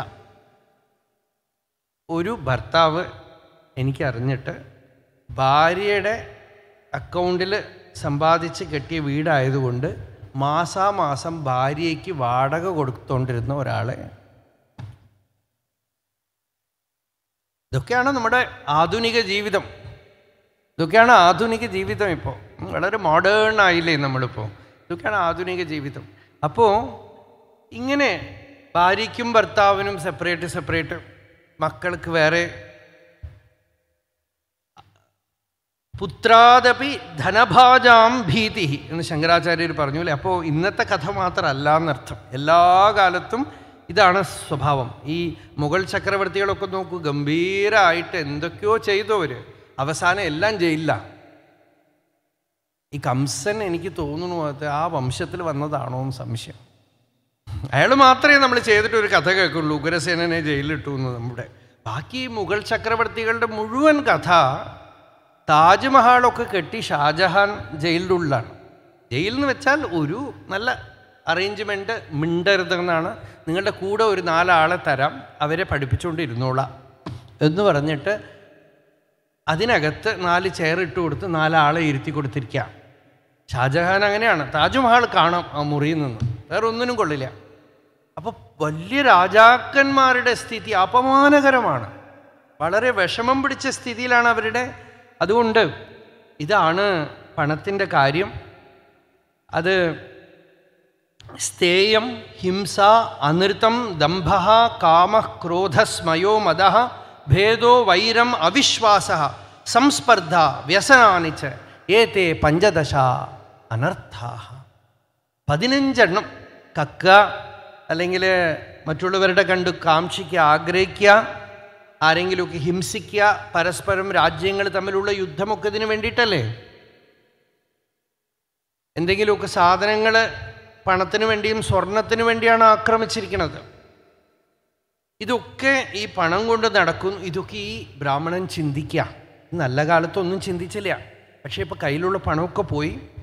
വീട്ടുകാരൊക്കെ പറഞ്ഞയച്ചു. ബന്ധുക്കൾ ആരുമില്ല. ഒന്ന് ആ അവസ്ഥ ആലോചിച്ച് നോക്കൂ. പല ആളുകളുണ്ട്. എനിക്ക് ചിലരെ എനിക്കറിയാം. കുടുംബത്തിലുള്ളവരൊക്കെ ഉപേക്ഷിച്ചാലും ഭഗവാനെ ആശ്രയിച്ചുകൊണ്ട് നല്ല ഭഗവത് ഭക്തി ചെയ്ത് കുടുംബത്തിൽ ചില വിഷമം വന്ന് അതിൽ നിന്നൊക്കെ വിരക്തനായ ഒരു മഹാപുരുഷന് ഇപ്പം സമാധി വെച്ചിട്ടാണ് ഞാൻ വരണം. ഒരു ഒരു പത്ത് ദിവസം ഇരുപത് ദിവസമായി അദ്ദേഹത്തിന്റെ കൂടെ ഏകദേശം ഒരു നാൽപ്പത് വർഷത്തോളം ഞാൻ ഇരുന്നുണ്ട്. അതിൽ റിട്ടയറായി വന്ന ശേഷമുള്ള ജീവിതമാണ് ഞാൻ കണ്ടത്. എന്നുവെച്ചാൽ ആരുമില്ല നോക്കാൻ. ഒരു വിഷമമില്ലാതെ ഒരു ദിവസം അങ്ങോട്ട് സങ്കല്പിച്ചു എന്താണെന്ന് വെച്ചാൽ അതിനു മുമ്പ് തന്നെ അദ്ദേഹം ജോലി ചെയ്തിരുന്ന സ്ഥലത്തും ഇതന്നെയായിരുന്നു ജീവിതം. ഭഗവൻ നാമജപാണ്. ഇവിടെ വന്നിട്ട് തീരുമാനിച്ചു. ഒരു ദിവസം ഞങ്ങളൊക്കെ ഇങ്ങനെ കഥ പറഞ്ഞ് ത്യാഗരാജസ്വാമി തൊണ്ണൂറ്റിയാറ് കോടി രാമനാമം ജപിച്ച കഥയൊക്കെ പറഞ്ഞപ്പോൾ അദ്ദേഹത്തിന് ഒരു സങ്കല്പം ഉദിച്ചു. നൂറ് കോടി രാമനാമം ജപിക്കാം. അദ്ദേഹത്തിന് പാചകം ചെയ്ത് കൊടുക്കാൻ ആളില്ല. അദ്ദേഹം ഒരു കൊച്ചു ആശ്രമത്തിലാണ്. ആ ആശ്രമം അടിച്ചു തെളിക്കാനൊന്നും പണിക്കാരൊന്നുമില്ല. എല്ലാം ചെയ്യും. ആ ആശ്രമം അടിച്ചു തെളിക്കും കടയിൽ പോയി സാധനങ്ങൾ വാങ്ങിച്ചുകൊണ്ട് വരും. പാചകം ചെയ്യും. തന്റെ നിത്യശിവപൂജ ചെയ്യും. ഏകദേശം ഇരുന്നൂറോളം നമസ്കാരം ചെയ്യും. ഇതെല്ലാം ആയിട്ട് ഒരു ദിവസം ഒന്നേകാൽ ലക്ഷം രാമനാമം ജപിക്കും. സമയം ഉണ്ടായിരുന്നു അത് പഴകിക്കഴിഞ്ഞു അഭ്യാസം. അങ്ങനെ ഇരുപത് വർഷം. ഇതിൽ ആശ്ചര്യം എന്താ അറിയോ? ആ സങ്കല്പം എടുക്കുമ്പോൾ എനിക്കറിയാം. എന്നെ കാരണമാക്കി വെച്ചുകൊണ്ടാണ് അദ്ദേഹം സങ്കല്പം എടുത്തത്. ഇരുപത് വർഷവും ഞാൻ കണ്ടു. ഒരു ജലദോഷം ഒരു പനി എന്തെങ്കിലുമൊക്കെ വന്ന് ഒരു ദിവസം മുടങ്ങി ആ അനുഷ്ഠാനം എന്ന് വന്നിട്ടില്ല. ഒറ്റ ദിവസം പോലും മുടങ്ങാതെ ആ നൂറ് കോടി രാമനാമ ജപം പൂർത്തിയാക്കി. അത് കഴിഞ്ഞും പിന്നെയും തന്റെ നിത്യാനുഷ്ഠാനം പഞ്ചാക്ഷര ജപം ഒക്കെ അതിന്റെ ഇടയിൽ കൂടെ ഉണ്ട്. ഇതിന്റെ ഇടയിൽ കുറച്ച് സമയം കിട്ടുമ്പോൾ എല്ലാവരോടും സംസാരിക്കുകയൊക്കെ ചെയ്യും. അത്ര പെട്ടെന്നൊന്നും ആളുകൾ അടുക്കാൻ പറ്റില്ല. അങ്ങനെ സ്വഭാവമല്ല. എന്താണെന്ന് വെച്ചാൽ ഇതിന് തടസ്സം വരാവുന്ന ഒന്നിനോടും കൂടില്ല. ഒരു വ്യവഹാരത്തിനും കൂടില്ല ഒരു വിശേഷത്തിനും പോവില്ല എവിടെയും പോവില്ല. അങ്ങനെ എളുപ്പത്തിലൊന്നും അടുക്കാൻ പറ്റില്ല. അങ്ങനെയുള്ള പ്രകൃതി ഒരു കവചമായിട്ട് അദ്ദേഹം വെച്ചു എന്ന് വെച്ചോളാം. പക്ഷേ ആ തപോനിഷ്ഠ ആരുമില്ല. കുടുംബത്തിലുള്ളവരോ ഒരാളും നോക്കാനില്ല. ഒന്നുമില്ലെങ്കിലും സന്യാസാണ്. സന്യാസി എടുത്തു. സന്യാസം സംഭവിച്ചു അദ്ദേഹത്തിന്. തപോനിഷ്ഠ ആനന്ദമായിട്ട്. ലോകവ്യവഹാരമൊന്നും ആവശ്യമില്ല പുറത്ത് ഒരു കാര്യം ആവശ്യമില്ല. ഇരിക്കണ ഒരു സ്ഥലത്തിൽ തന്നെ ഇരുന്നു കൊണ്ട് ഭഗവന്നാമ ജപം. അതും എങ്ങനെ അറിയോ? ഞാൻ ആ കുട്ടിക്കാലത്ത് രാമകൃഷ്ണ വചനാമൃതവും ഇതുമൊക്കെ വായിച്ച് രാമകൃഷ്ണദേവന്റെ സമാധി ആ ഭാവസ്ഥിതി ഇതൊക്കെ ഞാൻ നമ്മൾക്കുള്ളിലുള്ള ഭാവമാണ്. അപ്പം ഞാൻ അദ്ദേഹത്തിനോട് പറയുമ്പോൾ അദ്ദേഹത്തിൽ ഇതൊന്നും കാണില്ല. എന്നാലോ നല്ല ആനന്ദമായിട്ട് നിഷ്ഠയോടെ നാമം ജപിക്കും. അപ്പം ഞാൻ ചോദിക്കും ഇതൊന്നും മനസ്സിൽ എനിക്കതൊന്നും വേണ്ട എനിക്ക് എന്റെ അടുത്ത് ഉള്ളിൽ നിന്ന് ഭഗവാൻ അല്ല ഗുരു കൽപ്പനയാണ് ജപം ചെയ്യണമെന്ന് ഞാൻ ചെയ്യും. എനിക്ക് ഈ മനസ്സിന്റെ ഭാവം വന്നിട്ടില്ലേ അതൊന്നും എനിക്ക് ആവശ്യമില്ല. ധ്യാനവും വേണ്ട ഭാവവും വേണ്ട ഒന്നും വേണ്ട. ഇത് ചെയ്യുന്നുള്ളൂ. അപ്പോൾ മനസ്സിനോട് തന്നെ സംഘമില്ലാതെ ചെയ്താലേ ഇങ്ങനെ ഒരു നിഷ്ഠ സാധിക്കുള്ളൂ. അല്ലെങ്കിൽ ഉണ്ടല്ലോ ഒരു സുഖം വരുമ്പോൾ നമ്മൾ ചെയ്യും. സുഖം പോയാൽ നമ്മൾ നിർത്തിക്കളയും. ഇന്നൊരു സുഖമില്ലേ. അതുകൊണ്ട് ഇന്ന് ജപമില്ല അനുഷ്ഠാനമില്ല വിട്ടുകളയും അങ്ങനെ ഒന്നുമില്ലാതെ ഏകദേശം മുപ്പത് വർഷത്തോളം അദ്ദേഹം പാലക്കാട് ഉണ്ടായിരുന്നു. പിന്നെ അവസാനം നമ്മളുടെ ഒരു ആശ്രമമുണ്ട് അവിടെ കൊണ്ടു കൊണ്ടുപോയി വെച്ചു. എല്ലാം ഒരു രണ്ടാഴ്ച വയ്യാതെ കിടന്നു. അവസാനം കുട്ടികളൊക്കെ വേദപാഠശാല കുട്ടികളാണ്. വിഷ്ണു സഹസ്രനാമം ചൊല്ലിക്കൊണ്ടിരിക്കുകയാണ്. വായിലിങ്ങനെ ആഹാരം ഊട്ടി കൊടുക്കുക തൊണ്ണൂറ്റി ഒന്ന് വയസ്സായപ്പോൾ. വായിലിങ്ങനെ ആഹാരം പാഠശാല കുട്ടികളും അധ്യാപകരൊക്കെയാണ് വായിലിങ്ങനെ അന്ന ഇട്ട് കൊടുക്കുമ്പോൾ സഹസ്രനാമം മുഴുവൻ കഴിഞ്ഞ്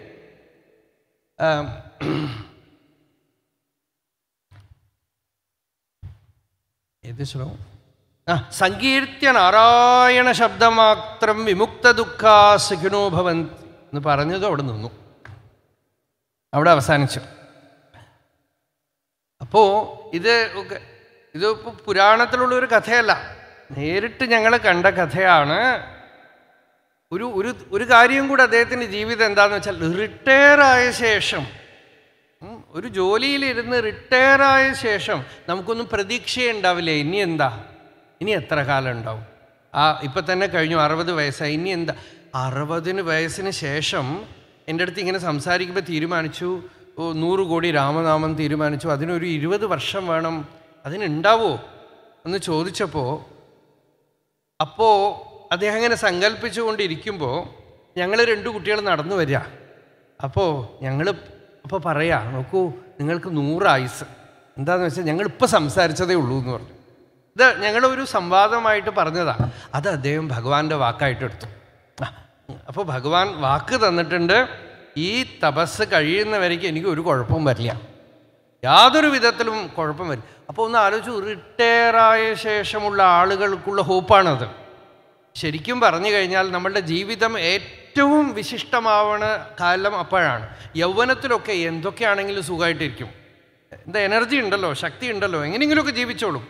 പക്ഷെ വാർദ്ധക്യത്തിൽ വരുമ്പോഴാണ് ചിന്താമാപ ദുരത്യയാം ഒരുപാട് ചിന്തകൾ വരും പല വിഷമങ്ങൾ വരും. വൃദ്ധസ്ഥാവ ചിന്താസക്ത വാർത്താം പൃച്ഛതി കോപിന ഗേഹേ അംഗം ഗളിതം ഫലിതം മുണ്ടം ദശനവിഹീനം ജാതം തുണ്ടം വൃദ്ധോയാതി ഗൃഹീത്വാ ദണ്ഡം തഥപിന മുഞ്ചതി ആശാപിണ്ഡം എന്നൊക്കെ ശങ്കരാചാര്യർ പറഞ്ഞില്ലേ?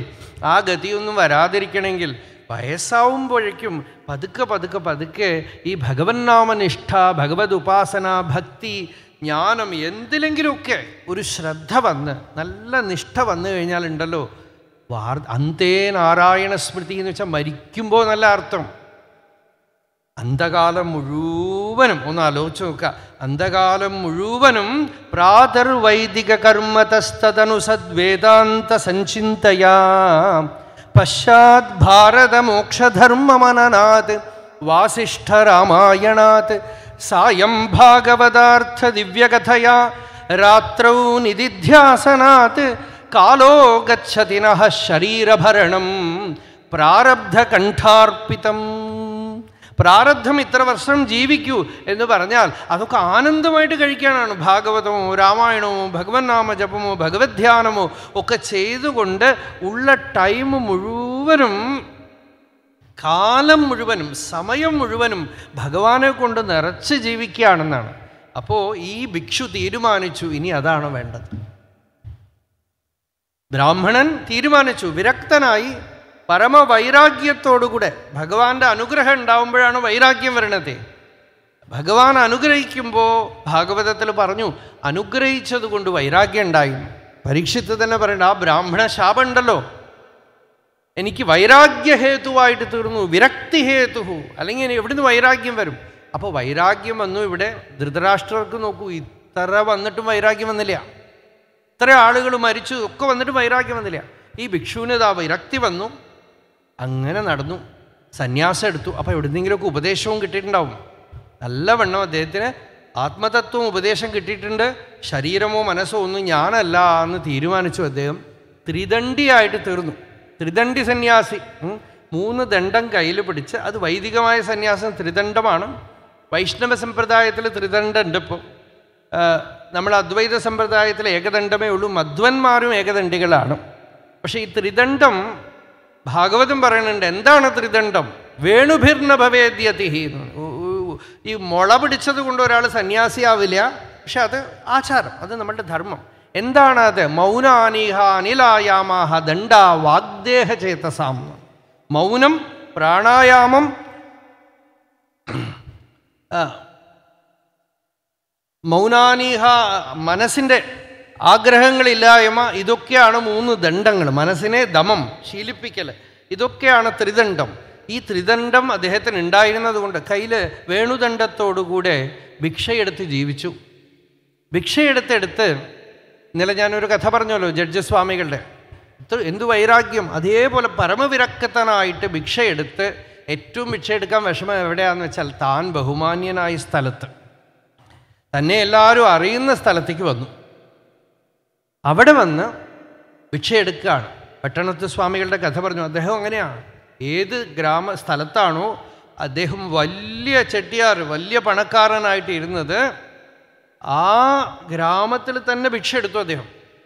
അദ്ദേഹത്തിന്റെ റൈവലായിട്ട് അദ്ദേഹത്തിന്റെ ശത്രു എന്ന് പറയാം നമുക്ക്. അതായത് ബിസിനസ് റൈവൽ അദ്ദേഹത്തിനെ പോലെ തന്നെ പണക്കാരനായി അദ്ദേഹത്തിനെ പോലെ തന്നെ മുത്തുവ്യാപാരിയായിട്ടുള്ള മറ്റൊരു ചട്ടിയാരുണ്ടായിരുന്നു? അദ്ദേഹം ദിവസം ഇയാളെ കളിയാക്കും. കണ്ടില്ലേ? നോക്കൂ. എന്റെ അടുത്ത് പോട്ടി മത്സരിച്ച ആളാണ്. ഇതപ്പോൾ കണ്ടില്ലേ? പിച്ചെടുത്ത് നടക്കുന്നത് കണ്ടില്ലേ? ഒന്നിനും കൊള്ളാതെ. എന്ന് പറഞ്ഞ് ഒരു ദിവസം ഭിക്ഷയ്ക്ക് പോയപ്പോൾ ആ അയാൾ കളിയാക്കുന്ന വീട്ടിൽ തന്നെ ഭിക്ഷയ്ക്ക് പോയി നിൽക്കും. പട്ടണത്താർ. ആ കളിയാക്കുന്ന വീട്ടിൽ അപ്പോൾ വലിയ ശരീരം ആ ചെട്ടിയാർക്ക്. ഈ വശത്തൊരാൾ ഈ വശത്തൊരാൾ ഇരുന്ന് ഈ കൊടവയർ ഇങ്ങനെ എണ്ണയിട്ട് ഒഴിയുക മസാജ് ചെയ്ത് കൊടുക്കുകയാണ് അപ്പോൾ പട്ടണത്ത് സ്വാമികൾ ഒരു പാട്ട് പാടി. ചെട്ടിയാർ തൊപ്പൈ തനതണ്ടിരുക്ക് നായി നരി കഴുക് തനതണ്ടിരുക്ക് ഈ ചെട്ടിയാർ തൊപ്പൈ എന്ന് വെച്ചാൽ കൊടവയർ. ചെട്ടിയാർ വിചാരിച്ചിരിക്കണു ഈ കൊടവയർ തന്റെ ആണെന്ന് പക്ഷെ നായി കഴുകനും നരിയും ഒക്കെ സീൽ വെച്ചിട്ട് പോയിട്ടുണ്ടെന്നാണ്. എപ്പോഴാപ്പം അയാൾ ശരീരം വിടാൻ പോണത്? നമുക്ക് വേണ്ട ആഹാരമാണെന്നാണ്. നല്ല നല്ല കൊഴുത്ത ശരീരമെന്ന് അപ്പോൾ ആ നാട്ടിൽ തന്നെ ഭിക്ഷ എടുത്തു. അവിടെ തന്നെ പിച്ചയെടുത്തു പലരും ചീത്ത വിളിക്കും നിന്ദിക്കും. ഒരു ദിവസം സമാധിസ്ഥിതിയിലിരുന്ന് ഉണർന്നത് രാത്രിയാണ്. രാത്രിയാണ് ഉണർന്നത്. നല്ല വിശപ്പ് ഭിക്ഷ അന്വേഷിച്ച് ഇങ്ങനെ പോയി. പോയപ്പോൾ ഒരു വീട് തുറന്നു കിടക്കണു നേരെ കയറി ഉള്ളിലേക്ക്. ബാഹ്യപ്രജ്ഞയൊന്നുമില്ല. കയറി കഴിഞ്ഞതും അദ്ദേഹത്തിന് വീണ്ടും സമാധിസ്ഥിതി വന്നു. അങ്ങനെ നിന്നുപോയി അവിടെ. അപ്പോൾ നാട്ടിലൊരു കള്ളം വന്നിരിക്കുക ഗ്രാമത്തിൽ അപ്പോൾ ഈ കള്ളനെ അന്വേഷിച്ച ആളുകൾ ഓടുക. അപ്പോൾ കള്ളനെ പുറകുവശത്ത് കൂടെ തെരഞ്ഞു പോയതാണ് ആ വീട്ടുകാർ അവരൊക്കെ അങ്ങനെ അന്വേഷിച്ച് വന്നപ്പോൾ കണ്ടില്ല എന്ന് പറഞ്ഞ് എല്ലാം കൂടെ തിരിച്ച് വീട്ടിലേക്ക് വരുമ്പോൾ അകത്തൊരാൾ നിൽക്കുന്നുണ്ട് എല്ലാവരും കൂടെ പൊതിരെ തല്ലി. അടിച്ചു. താടിതഹ സന്നിബദ്ധോവ എന്ന് പറഞ്ഞില്ലേ? അടിച്ചു. അടിച്ചിട്ട് യാതൊരു വിധത്തിലും അനങ്ങിയില്ല. അപ്പോൾ ഇവർക്ക് വെളിച്ചം ലൈറ്റൊക്കെ കൊണ്ടുവന്ന് നോക്കുമ്പോൾ പട്ടണത്ത് സ്വാമികളാണ്. എല്ലാവരും വീണ് നമസ്കരിച്ച് പൂജിച്ചു. അപ്പോഴും ഒന്നും വിഷമിക്കാതെ ഇറങ്ങിപ്പോയി. അപ്പോൾ പറഞ്ഞു ഈ ശരീരത്തിന് വേണ്ടിയിട്ടല്ലേ ഞാൻ പിച്ചയ്ക്കായിട്ട് പോയത് ഇവിടെ? ഇനി ഒരു വീട്ടിലേക്കും കയറി പോകില്ല കൊണ്ടുവന്ന് തന്നാലേ ഭിക്ഷയുള്ളൂ എന്ന് തീരുമാനിച്ചിരുന്നു. അജകരവൃത്തി ഇനി കൊണ്ടുവന്ന് തന്നാലേ ഭിക്ഷയുള്ളൂ. ഒരു വീട്ടിലും ഭിക്ഷ. അങ്ങനെ ഒരു വൈരാഗ്യം. അത്രയൊക്കെ വൈരാഗ്യം ഉണ്ടെങ്കിലുണ്ടല്ലോ. ഈ ജ്ഞാനം വളരെ ലളിതാണ്. ഇല്ലെങ്കിൽ നമുക്കിതൊക്കെ ശിരോമണി പാസ്സാവുകയോ പി എച്ച് ഡി എടുക്കുകയോ എം എ എടുക്കുകയോ ഒക്കെ ചെയ്യാനേ കൊള്ളുകയുള്ളൂ അതിൽ കൂടുതലൊന്നും അതിൽ പ്രയോജനപ്പെടില്ല. ഈ വിദ്യ അത്രയും വൈരാഗ്യമുള്ള ആൾക്ക് പ്രയോജനപ്പെടും. അത്ര വിരക്തനാണ് ഈ ഭിക്ഷു. അത്രയും വിരക്തിയോടുകൂടെ വൈരാഗ്യത്തോടുകൂടെ ഈ ഭിക്ഷു താൻ ജീവിച്ച് വിരക്തനായ ആ ഗ്രാമത്തിൽ അവർ ആർക്കും അദ്ദേഹത്തിന് ഇഷ്ടമല്ല. അദ്ദേഹത്തിന് ആർക്കും ഇഷ്ടമല്ല അവിടെ വന്നു. വന്ന് ആ ഗ്രാമത്തിൽ ഭിക്ഷ എടുത്ത് ആദ്യമൊന്നും ആളുകൾക്ക് മനസ്സിലായില്ല. കുറച്ചൊക്കെ ഭിക്ഷ കൊടുത്തു. പിന്നെ മനസ്സിലായി ഇത് ആ പഴയ ആളല്ലേ? ആ പണക്കാരൻ അയാൾ ഇപ്പോൾ പുതിയ വേഷത്തിൽ ഇറങ്ങിയിരിക്കുക? ഇതിപ്പോൾ പുതിയ വേഷമാണ്. വയറ്റുപഴുപ്പിന് ഇപ്പോൾ പുതിയതായിട്ടൊരു വേഷം കെട്ടിയിരിക്കുകയാണ് എന്ന് പറഞ്ഞ് കളിയാക്കി കുറേ ചെറുപ്പക്കാരൊക്കെ കൂടെ പരിഹസിച്ചു. ചിലർ ആ ദണ്ഡം വാങ്ങിച്ച് പൊട്ടിച്ചു കളഞ്ഞു. വളരെ വിഷമാവും ദണ്ഡം പൊട്ടിച്ചു കളഞ്ഞു. കയ്യിലുള്ള കമണ്ടലമൊക്കെ പൊട്ടിച്ചു കളഞ്ഞു. ഭിക്ഷ വാങ്ങിച്ചു കൊണ്ടുപോയി നദീതീരത്തിൽ ഇരുന്ന് കഴിക്കാൻ നോക്കുമ്പോൾ അതിൽ മലമൂത്ര വിസർജനം ചെയ്തു. തലയിൽ മലമൂത്ര വിസർജനം ചെയ്തു. ഇങ്ങനെ പല വിധത്തിലും ഉപദ്രവിച്ചു. എല്ലാ ഉപദ്രവവും ഉണ്ടായിട്ടും മിണ്ടാതിരിക്കുമ്പോഴെങ്കിലുമൊക്കെ തോന്നണ്ടേ? മഹാത്മാവാണെന്ന് തോന്നണ്ടേ? മൗനേന സാധകത്യർത്ഥം ഐ മിണ്ടാപൂച്ച തല ഉടയ്ക്കെന്ന് പറയണ പോലെ ഇരിക്കുകയാണ്. ഇത് വെറുതെ മിണ്ടാതെ ഇരിക്കുകയാണ് കാര്യം നടത്താൻ വേണ്ടിയുള്ള പുതിയ വഴിയാണെന്ന് പറഞ്ഞു. എന്നല്ലാതെ അപ്പോഴും രമണ മഹർഷി ഒരു ഒരു പുളിമരത്തിന്റെ ചുവട്ടിലിരിക്കുമ്പോൾ അവിടെ കക്കാൻ വന്നു കുറേ പേര്. ഇദ്ദേഹം അവിടെ ഇരിക്കുമ്പോൾ എണീറ്റ് പോകുമെന്ന് പറഞ്ഞു. അദ്ദേഹം ശ്രദ്ധിച്ചില്ല. എന്തൊക്കെയോ പറഞ്ഞു. ശ്രദ്ധിച്ചില്ല. അപ്പോൾ പച്ചമിളക് അരച്ച് മേലെ അങ്ങോട്ട് തേച്ച് വിട്ടു. അനങ്ങോ നോക്കാമല്ലോ എന്ന് പറഞ്ഞു. നല്ല മിളക് അരച്ച് മേലെ അങ്ങോട്ട് നല്ല വെണ്ണം അങ്ങോട്ട് തേച്ചു. ഇത് പിന്നാലെ ആളുകൾ ചോദിച്ചു ഭഗവാനെ ആദ്യം കുറച്ച് എരിഞ്ഞു പിന്നെ നല്ല തണുപ്പായിരുന്നു എന്ന് പറഞ്ഞു. അത്രയും ആദ്യം കുറച്ച് നേരത്തേക്ക് ഒരു എരിവുണ്ടായിരുന്നു പിന്നെ നല്ല തണുപ്പായിരുന്നു. അപ്പോൾ ഇത് ഇങ്ങനെയൊക്കെ ഉപദ്രവിച്ചു പല വിധത്തിലും. കാഞ്ചി പരമാചാര്യരുടെ അടുത്ത് സേവ ചെയ്തിരുന്ന രാജഗോപാലൻ എന്ന് പറയുന്ന ഒരു ബ്രഹ്മചാരി പരമഭക്തൻ വളരെ വിരക്തനും നിഷ്കാമ ഭക്തനായിരുന്നു അദ്ദേഹം പിന്നാലെ മേട്ടൂർ സ്വാമികൾ സന്യാസം എടുത്ത് കേരളത്തിലെ കാലടിയിൽ ഞാനുള്ളപ്പോൾ അദ്ദേഹം കാലടിയിൽ വന്നിട്ടുണ്ട്. അന്ന് നടന്നു വന്നതാ. പദയാത്രയായിട്ട് നടന്നു വന്നതാണ്. അദ്ദേഹത്തിന് ഇതേപോലെ നോർത്തിൽ പോയപ്പോൾ ഉപദ്രവിച്ച് ദണ്ടമൊക്കെ പൊട്ടിച്ച് ഗംഗയിൽ എറിഞ്ഞുമൊക്കെ ചെയ്തു. ഇങ്ങനെയൊക്കെ ചിലപ്പോൾ സാധുക്കൾക്ക് തന്നെ ഇത്തരത്തിലുള്ള അനുഭവമൊക്കെ വരും. ഇത്രയും വിഷമങ്ങളൊക്കെ വന്നിട്ടും അല്പം പോലും വേദനിച്ചില്ല. ഒരു പക്ഷേ നല്ല സജ്ജനങ്ങളൊക്കെ കണ്ട് ഇദ്ദേഹം ജ്ഞാനിയാണ് മഹാത്മാവാണെന്നും വിളിച്ചിട്ടുണ്ടാവും. അതൊക്കെ കണ്ടിട്ട് അദ്ദേഹം പറഞ്ഞു ഇതൊന്നും എനിക്ക് പ്രശ്നമല്ല. പരിഭൂത ഇമാം ഗാഥാമഗായത നരാധമൈഹി പാതയദ്ഭിഹി സ്വധർമ്മസ്തു ധൃതിം ആസ്ഥായ സാത്വികി. നല്ല നല്ല തീവ്ര ധൃതിയിൽ ഇരുന്നു കൊണ്ട് ഒന്നുകൊണ്ടും വിഷമിക്കാതെ വേദാന്തത്തിൽ പറയണത് ഈ ശക്തി വേദാന്ത ശ്രവണം ചെയ്യുന്നതിന് മുമ്പേ ഉണ്ടാവണം എന്നാണ്. സഹനം സർവദുഃഖാനാം അപ്രതീകാരപൂർവകം ചിന്താ വിലാപരഹിതം സാ തിദിക്ഷ നിഗദ്യതേന്ന് എന്തൊക്കെ തന്നെ വിഷമം വന്നാലും അതിനൊക്കെ സഹിക്ക. ഒരു പ്രതികാര ബുദ്ധി ഇല്ലാതെ അതിനൊരു പ്രത്യവായം പോലും അന്വ അതിനൊരു പരിഹാരം പോലും ചെയ്യണമെന്ന് വിചാരിക്കാതെ സഹിക്കുക അതിനുള്ള ശക്തി ഇത് അദ്ദേഹത്തിന് ഉണ്ടായിരുന്നു. അപ്പോൾ പാടി ഒരു പാട്ട്. നായം ജനോമേ സുഖദുഃഖഹേതു. നേവതാത്മാ ദേവതാത്മാ ഗ്രഹകർമ്മകാലാ മനഃപരം കാരണമാമനന്തി. സംസാരചക്രം പരിവർത്തയേദ്യത്. നമ്മൾ സംസാരം എന്ന് പറയണ്ടല്ലോ. സംസാരം ഒന്നും പുറത്തില്ല. ഈ മനസ്സാണ് സംസാരം. നഹ്യസ്തി അവിദ്യ മനസ്സോതിരിക്ത മനോഹി അവിദ്യ ഭവബന്ധഹേതു. തസ്മിൻ വിനഷ്ടേ സകലം വിനഷ്ടം. വിജൃംഭിതേസ്മിൻ സകലം വിജൃംഭത്തെ മനസ്സിന് മറ്റൊരു പേരാണ് അവിദ്യ. മനസ്സ് ഉദിക്കുമ്പോൾ എല്ലാം ഉദിക്കുന്നു മനസ്സടക്കുമ്പോൾ എല്ലാം അടങ്ങുന്നു.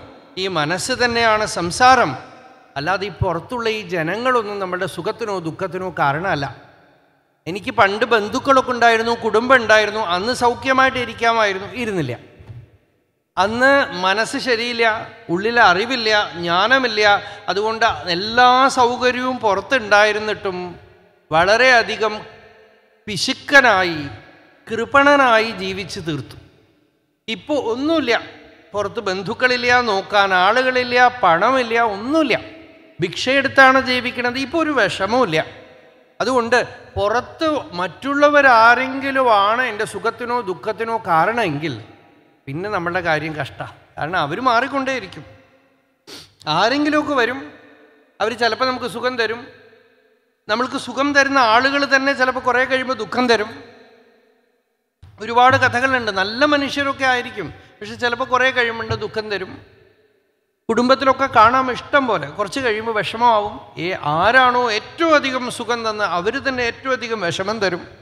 ഇതൊക്കെ കൺമുമ്പിൽ കാണാൻ പറ്റും നമുക്ക്. അപ്പോൾ ഈ ജനങ്ങളെ ഒന്നും പുറത്തു എന്തിനെ ആശ്രയിച്ചിട്ടുള്ള സുഖമാണെങ്കിലും ഉണ്ടല്ലോ അതൊക്കെ അനിത്യമാണ്. അത് വരും പോവും. അതുകൊണ്ടാണ് പറയണത് യോഗം എന്താണ്?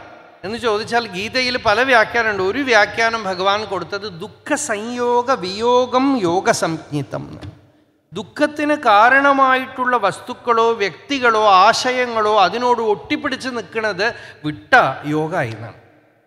അതിനോട് ഒട്ടിപ്പിടിച്ച് നിന്നാൽ അത് ദുഃഖിപ്പിക്കും. എന്നെങ്കിലും ഒരു ദിവസം എല്ലാ വ്യക്തികളും ദുഃഖിപ്പിക്കും. യാജ്ഞവൽക്യൻ മൈത്രേയിയോട് പറഞ്ഞു ആത്മാവിൽ നിന്ന് അന്യമായ ഏതു വസ്തുവിനെ നീ വളരെ വലുതെന്ന് കരുതി ആശ്രയിച്ചാലും എന്നെങ്കിലും ഒരു ദിവസം നിനക്ക് തീവ്രമായ ദുഃഖം തന്ന അത് തന്നെ വിട്ടുപോകും. ശരീരമടക്കം. ഈ ശരീരമടക്കം എന്തൊക്കെ തന്നെ നമ്മൾ നോക്കിയാലും എക്സസൈസ് ചെയ്യുന്നു നല്ല പോഷകാഹാരം കഴിക്കുന്നു മരുന്ന് കഴിക്കുന്നു ഇതൊക്കെ കഴിക്കുമ്പോൾ വയസ്സാവും തോറും നന്നാവണ്ടേ? ഇല്ലേ? നമ്മൾ ചെയ്യുന്ന പ്രവൃത്തിക്കനുസരിച്ച് വർഷം തോറും അതിന്റെ ആരോഗ്യം കൂടി കൂടി കൂടി വരുമ്പോൾ ഒരു തൊണ്ണൂറ് വയസ്സാകുമ്പോൾ നല്ല പെർഫെക്റ്റ് ആവണ്ടേ? അങ്ങനെയാണോ ആവണത്. പറയും മൂന്ന് ഭ്രമ അത്ര ശരീരത്തിൽ. ഒന്ന് ആത്മത്വഭ്രാന്തി. ഇത് ഞാനാണ് എന്നുള്ളത്. രണ്ട് ദോഷാപനയഭ്രാന്തി. ഇതിലുള്ള ദോഷമൊക്കെ നീക്കാൻ പറ്റും. അതിന് കുറേ ശ്രമിക്കും. മൂന്ന് ഗുണാധാന ഭ്രാന്തി അതിൽ ചില ക്വാളിറ്റീസൊക്കെ പുതിയതായിട്ട് കൊണ്ടുവരിക നമ്മളുടെ മുഖമൊക്കെ മാറ്റി വേറെ ഒരാളുടെ മുഖമാക്കി മാറ്റുക. വേറെ ഒരാളുടെ ശബ്ദം പോലെ ആക്കി മാറ്റാം. ഇതിനൊക്കെ സമയം കളയാം. അപ്പോൾ ഈ ഭ്രമമൊക്കെ ശരീരത്തിലുണ്ട്.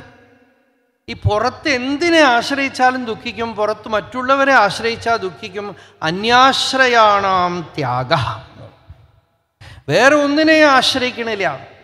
ഭഗവാനെ മാത്രമേ ആശ്രയിക്കണുള്ളൂ ഭഗവാനോ നമ്മളുടെ ഉള്ളിൽ കൃഷ്ണമേനം അവേഹിത്വം ആത്മാനമഖിലാത്മനാം. നമ്മളുടെ അന്തര്യാമിയായി ഭഗവാൻ ഇരിക്കണു ആ ഭഗവാനെ ആശ്രയിച്ചു. പുറത്ത് ജനങ്ങളെ ഒന്നും ആശ്രയിക്കണില്ല. ന ദേവത. ചിലപ്പോൾ പറയും ദേവതാ കോപമാണെന്ന് പറയും. ദേവതാ കോപമാണ് നമ്മളുടെ ദുഃഖത്തിന് കാരണമെങ്കിൽ ചിലപ്പോൾ കുടുംബത്തിൽ പ്രശ്നങ്ങളൊക്കെ വന്നു ഒന്ന് ജ്യോതിഷിയുടെ അടുത്ത് പോയാൽ ദേവതാ കോപമാണെന്നൊക്കെ പറയും. ചിലപ്പോൾ കുലദൈവത്തിന്റെ കോപമാണ്. പലർക്കും കുലദൈവം ഏതാന്നേ അറിയില്ല. അതാണ് തമാശ. ഞങ്ങളുടെ ഇടയിലുണ്ട് ഒരുപാട് ആളുകൾ ഇങ്ങനെ അന്വേഷിച്ച് നടക്കും. ജ്യോത്സ്യം ചിലപ്പോൾ പറയും ഇന്ന സ്ഥലത്ത് തമിഴ്നാട്ടിൽ തഞ്ചാവൂരിൽ ഒരു ഗ്രാമമുണ്ട്. അവിടെ തെക്ക് മൂലയിൽ ഒരു ശിവന്റെ കോവിലുണ്ട് എന്നൊക്കെ പറഞ്ഞാൽ അവിടെ അന്വേഷിച്ച് ഒന്നും കിട്ടില്ല ചിലപ്പോൾ ഇനിയിപ്പോൾ ആ കുലദൈവം പ്രസന്നമായോ എന്ന് എങ്ങനെ അറിയും? അതും കണ്ടുപിടിക്കാൻ പറ്റില്ല അല്ലേ? ഇതൊക്കെ ഈ പുറത്ത് വെച്ച് കഴിഞ്ഞാൽ ഉണ്ടല്ലോ ഇങ്ങനെ അന്വേഷിച്ചുകൊണ്ട് പോകണം പല കാര്യങ്ങൾ ചെയ്യണം പല വിഷമങ്ങളുണ്ട് ഞാൻ ദേവത ഇപ്പൊ ഞാനൊരു കഥ വായിച്ചു. ഒരു വൈഷ്ണവ സാധു. സമയം അയ്യോ ഒരു വൈഷ്ണവ സാധു. അദ്ദേഹത്തിന് ഒരു മകളുണ്ട്. മകൾ വളരെ സീരിയസ് ആയിട്ട് വയ്യാതെ കിടക്കുകയാണ്. അപ്പോൾ അദ്ദേഹത്തിന് വല്ല മനസ്സിൽ വിഷമുണ്ട് വിഷമിച്ചിരിക്കുമ്പോൾ ഒരു ശനി ഭഗവാന്റെ ദർശനം ഉണ്ടാവുക. എന്നിട്ട് ആ ശനി നല്ല കഥയാണ് ആ ശനി വന്നിട്ട് ശനീശ്വരൻ ഒരു കാക്കയുടെ മേലെ ഇരുന്ന് നീല നിറത്തിൽ വന്നിട്ട് പറഞ്ഞു ഞാനാണ് കാരണം ഈ കുട്ടിയുടെ വിഷമത്തിന്. എനിക്ക് നീ ഒന്ന് പൂജ ചെയ്താൽ ഈ വിഷമം മാറിക്കോളും. നല്ല കൃഷ്ണഭക്തനാണ്. അപ്പോൾ ഇയാൾ പറഞ്ഞു ഞങ്ങൾ ഈ വൈഷ്ണവർ കൃഷ്ണനെ അല്ലാതെ ഞങ്ങൾ വേള വേറെ ആരെയും പൂജിക്കാറില്ല എന്ന് പറഞ്ഞു. അപ്പോൾ ശനി ഒരു വാദം പറഞ്ഞു അതെ നീ വരുന്ന ആളുകളെയൊക്കെ നല്ല ആളോ ചീത്തയാളോ നോക്കാതെ മനുഷ്യന്മാരെയൊക്കെ വിളിച്ചിരുത്തി ഭഗവത് സ്വരൂപമായി കണ്ടുകൊണ്ട് അവർക്കൊക്കെ ഭക്ഷണം കൊടുത്തൊക്കെ ചെയ്യണില്ല? അത്രയെങ്കിലുമൊക്കെ ഞങ്ങൾ ദേവതകൾക്ക് സ്ഥാനം തന്നൂടെ? അതുകൊണ്ട് എന്നെ അങ്ങോട്ട് വെച്ച്. അപ്പം ഞാൻ എന്ത് പൂജ ചെയ്യും ചോദിച്ചു ഇയാൾ. എനിക്കതാണ് വളരെ ഇഷ്ടപ്പെട്ടത്. അപ്പോൾ ശനി പറഞ്ഞു എനിക്ക് വേണ്ടതേ നീ കൃഷ്ണനാമം ചൊല്ലണില്ലേ? അതും ഒരു നൂറ്റിയെട്ട് നാമം എനിക്ക് വേണ്ടി ചൊല്ലും. ഞാൻ കേൾക്കട്ടെ ഞാനത് കേട്ട് കഴിഞ്ഞാൽ ഞാൻ പോയിക്കോളാം. ഞാൻ സമാധാനമാക്കിയിട്ട് പോയിക്കോളാം എന്നൊക്കെ പറഞ്ഞൊരു കഥ. അപ്പോൾ ഭഗവതാശ്രയം എല്ലാത്തിനുള്ള മരുന്നാണ് എന്നുള്ളതിനാണ് ആ കഥ അവിടെ പറഞ്ഞത്. ഇത് ഒരാൾ ഒരു ഒരു വൈഷ്ണവ സാധുവിന്റെ ജീവിതാനുഭവമാണ്. സർവത്തിനും പരിഹാരം നാമസങ്കീർത്തനം വിഷ്ണു എന്ന് പറയുന്നത്. ഭഗവാന്റെ നാമസങ്കീർത്തനം എല്ലാത്തിനും പരിഹാരമാണെന്ന് പറയണ്ടല്ലോ. ഭഗവൻ നാമജപം എന്താണെന്ന് വെച്ചാൽ അതിന്റെ പേരിലൊരു നാമം ജപിക്കാന്ന്. ഇത് ഭക്തിയുടെ ഇപ്പോൾ ഈ യോഗി ഇവിടെ പറയണത് ഒരു ദേവതയും എന്റെ വിഷമത്തിന് കാരണമല്ല. ഇനിയിപ്പോൾ ആത്മാ തന്നെ വിഷമിക്കുകയാണോ? ആത്മാവിന്റെ സ്വരൂപം ദുഃഖമാണെങ്കിൽ ആരെ കൊണ്ട് മാറ്റാൻ പറ്റില്ല. നല്ല കാലത്തിന് അങ്ങനെയല്ല.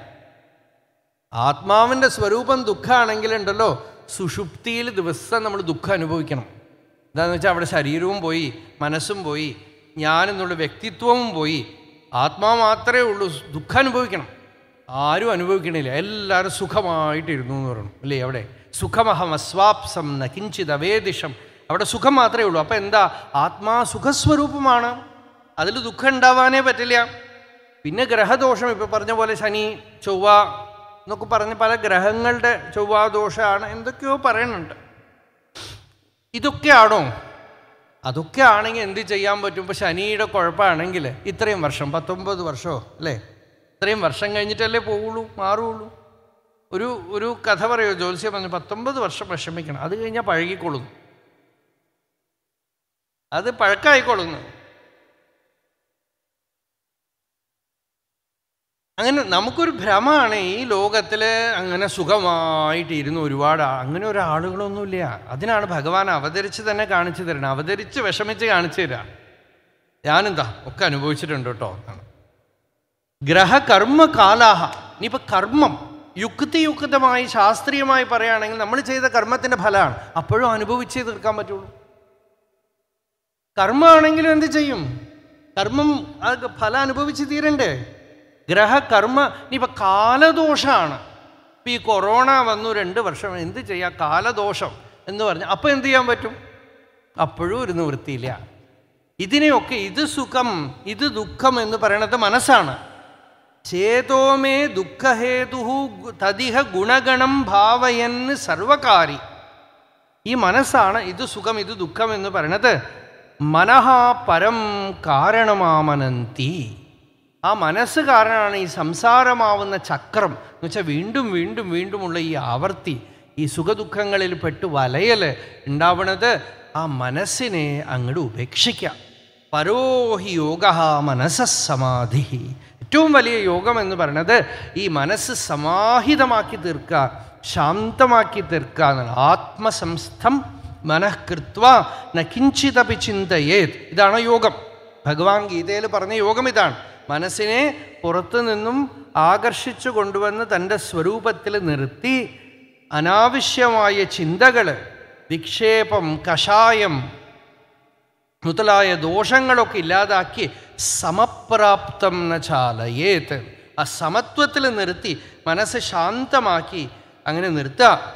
ഈ മനസ്സ് ശാന്തമാണെങ്കിൽ എന്തൊക്കെ തന്നെ ഗ്രഹദോഷം ഉണ്ടാവട്ടെ എന്തായാലും ഒരു ശിവഭക്തൻ ജ്ഞാനസംബന്ധർ ജൈനന്മാരുമായിട്ട് വാദസഭയ്ക്ക് മധുരയിൽ രാജാവിന്റെ സഭയിലേക്ക് പോവാം.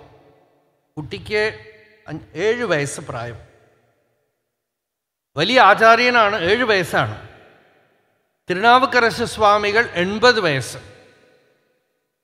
പരമഭക്തൻ എൺപത് വയസ്സായ ഒരു മഹാപുരുഷൻ അദ്ദേഹം വന്ന് നമസ്കരിച്ചിട്ട് പറഞ്ഞു ഇപ്പോൾ പോവരുത്.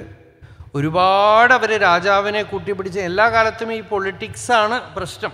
രാഷ്ട്രീയം അതിൽ കൂട്ടിക്കുഴയ്ക്കലാണത്. അതുകൊണ്ട് പറഞ്ഞു അവർ രാഷ്ട്രീയക്കാരുടെ കൂട്ടൊക്കെ പിടിച്ച് രാജാവിനെ കൂട്ടുപിടിച്ച് ഒരുപാട് ബുദ്ധിമുട്ടിച്ചിട്ടുണ്ട് ഈ തിരുനാവുക്കരശ സ്വാമികളെ പുറത്ത് വലിയ കരിങ്കല്ല് കെട്ടി കടലെടുത്തിട്ടുണ്ട്. നമ്മൾ പ്രഹ്ലാദന്റെ കഥയൊക്കെ പറയുമല്ലോ അതൊക്കെ അദ്ദേഹത്തിന്റെ കഥയിൽ വരും. കറ്റുണൈ പൂട്ടിയോർ കടലിനുൾ പാച്ചിനും നത്തുണയാവത് നമശിവായവേന്ന് പിന്നെ ഒരു കല്ല് കെട്ടി കടലെടുത്തിട്ടാലും എനിക്ക് തുണയായിട്ട് നിൽക്കുന്നത് പഞ്ചാക്ഷരമാണെന്ന് അദ്ദേഹത്തിന്റെ പാട്ടാണത്. അപ്പോൾ ജ്ഞാനസംബന്ധരുടെ അടുത്ത് പറഞ്ഞു പോവരുത്. ചെറിയ തളിര് പോലെയുള്ള ശരീരം ഏഴ് വയസ്സേ ആയിട്ടുള്ളൂ. ഗ്രഹം നിലയൊന്നും ശരിയില്ല. ഈ സമയത്ത് പോവരുതെന്ന് പറഞ്ഞപ്പോൾ അച്ഛാ എന്താണ് ഭഗവാൻ കൊടുത്ത ധൈര്യമാണ് ആ റൈറ്റാണ്. അപ്പോൾ പറയാണ് ഗ്രഹങ്ങളൊക്കെ എവിടെയോ നിൽക്കട്ടെ.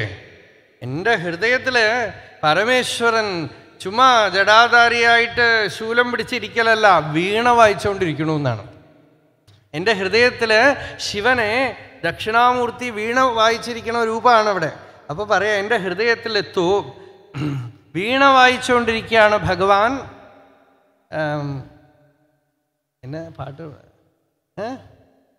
വേയുരു തോഴി പങ്കൻ വിടമുണ്ട കണ്ഠൻ നല്ല ഹാലാഹലം കഴിച്ച ആളാണെന്നാണ് വിടമുണ്ട കണ്ഠൻ മിക നല്ല വീണൈ തടവി மாசரு திங்கள் கங்கை முடிமேல் அணிந்து என் உளமே புகுந்த அதனால் ஞாயறு திங்கள் செவ்வாய் புதன் வியாழம் வெள்ளி சனி பாம்பு இரண்டுமுடனே ஆசரு நல்ல நல்ல அவை நல்ல நல்ல അടിയാറവർക്ക് മികവേ ഈ ഒമ്പത് ഗ്രഹങ്ങളും നല്ലതാണ് നല്ലതാണ് എവിടെ വേണമെങ്കിൽ നിന്നോട്ടെ നല്ലതാണ് അതും ഭക്തന് വളരെ നല്ലതാണെന്നാണ് അവരെവിടെ പോയി നിന്നാൽ ഈ ഭക്തൻ ഇതൊക്കെ വളരെ ആശര് നല്ല നല്ല അവൈ നല്ല നല്ല അടിയാറവർക്ക് മികവേന്ന് കോളർ പതികം എന്നാണ് അതൊരു പേര്. കോളർ വിഷമങ്ങളൊന്നും ഇല്ലാതാക്കുക. ദുഃഖങ്ങളൊന്നും പ്രശ്നമല്ല എന്നാണ്. അതും ഈശ്വരനെ എങ്ങനെയാണ് ധ്യാനിക്കുന്നത്? പരമേശ്വരനെ വെച്ചാൽ നല്ല വീണയി തടവി. വീണ ഇങ്ങനെ മെനക്കെട്ട് വായിക്കൊന്നുമല്ല. അങ്ങനെ സോഫ്റ്റായിട്ട് സുഖമായിട്ട് അങ്ങനെ വീണാവാദനം ചെയ്തുകൊണ്ട് ഭഗവാൻ ഹൃദയത്തിൽ ഇരിക്കുകയാണ്. ഇനിയിപ്പോൾ എന്താ വേണ്ടതെന്ന് വെച്ചാൽ വരട്ടെ എന്നാണ്. അത്രയും ധൈര്യമാണ്. ആ ധൈര്യത്തോടു കൂടിയാണ് പോണത് അവിടെ ജൈനന്മാരുടെ സഭയിലേക്ക്. അപ്പോൾ എന്തൊക്കെയാണെങ്കിലും ഗ്രഹങ്ങളോ കാലമോ ഒന്നും പ്രശ്നമല്ല. മനസ്സ് ഭഗവാന്റെ ശരണത്തിലുണ്ടെങ്കിൽ മനസ്സ് ഭഗവത് ധ്യാനത്തിലുണ്ടെങ്കിൽ ഇതൊന്നും ആവശ്യമില്ല ഒന്നും നോക്കേണ്ട ആവശ്യമില്ല. അത് ഭഗവാന്റെ ചരണത്തിൽ ഇല്ലെങ്കിലോ പിന്നെ ഒന്നും നോക്കിയിട്ട് കാര്യമില്ല വേറെ എന്തൊക്കെ ഉണ്ടെങ്കിലും വലിയ പ്രയോജനമൊന്നുമില്ല. അതുകൊണ്ട് ആ ഭിക്ഷു ആ മനസ്സ് സമാഹിതമാക്കി വെച്ചുകൊണ്ട് ആത്മധ്യാന നിഷ്ഠനായിട്ട് ഇരുന്നു കൊണ്ട് സ്വതന്ത്രമായിട്ട് സഞ്ചരിച്ചു. ദേഹത്തിനെ താനെന്ന് കരുതിയതേയില്ല മനസ്സിനെ വാസ്തവം പ്രാമാണികമെന്ന് കരുതിയതേയില്ല. ന കേനചിത് ക്വാപി കഥഞ്ചനാസ്യ ദ്വന്ദ്വോപരാഗ പരതഃപരസ്യ. യഥാ അഹമഹ സംസൃതിരൂപിണ സ്യാദ് ഏവം പ്രബുദ്ധോ ന ബിഭേതി ഭൂതൈ ആര് ഈ അഹങ്കാരത്തിനെ ജീവഭാവത്തിനെ ആത്മജ്ഞാനം കൊണ്ട് ഇല്ലാതാക്കിയിട്ടുണ്ടോ?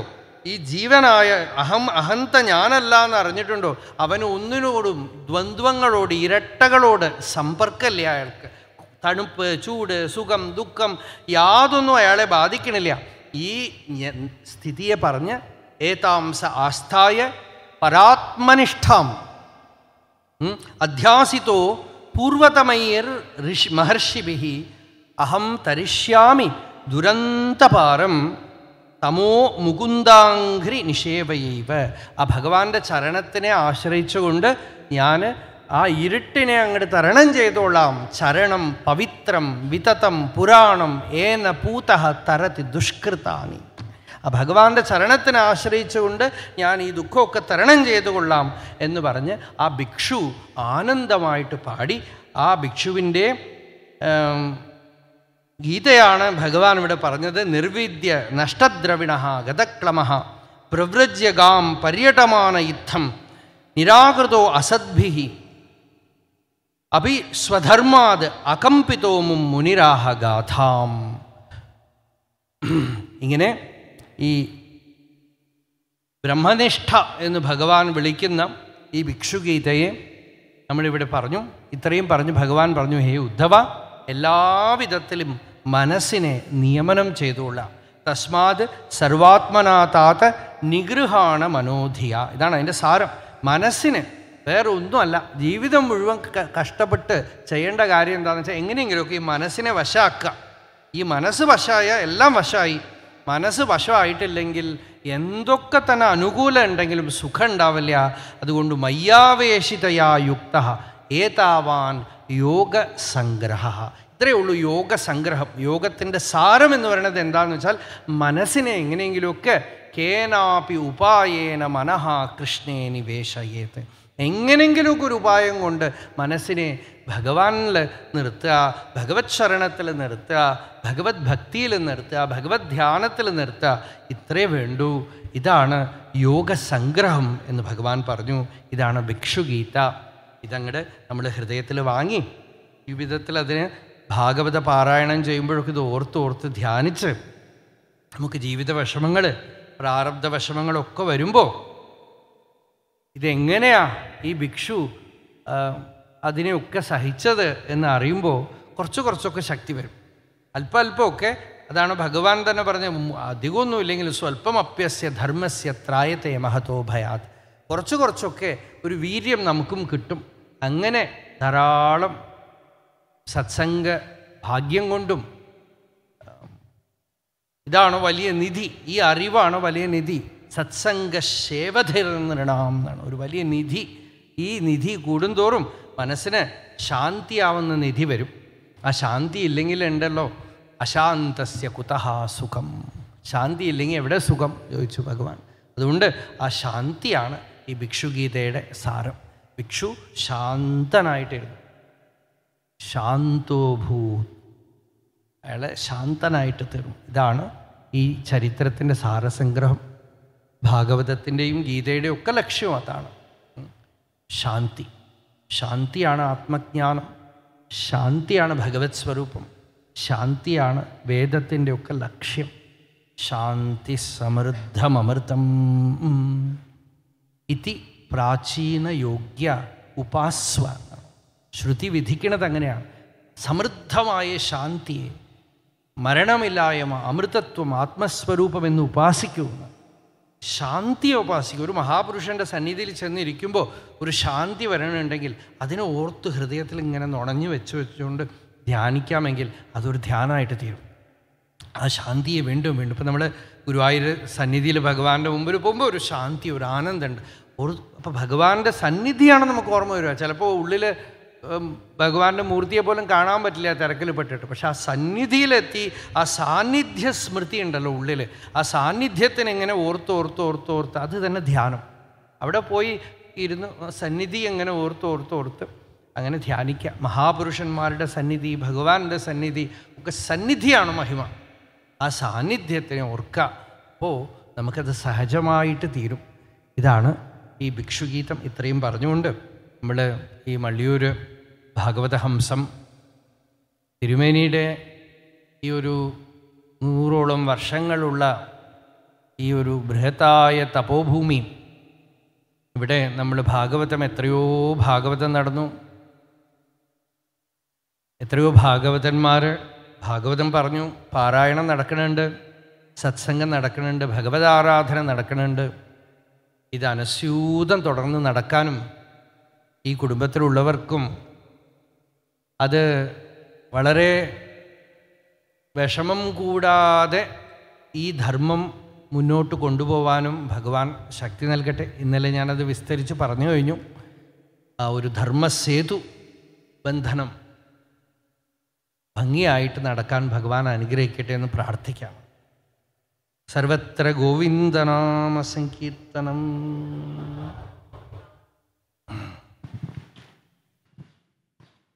ഭക്തജനങ്ങളെ വള്ളിയൂരിൽ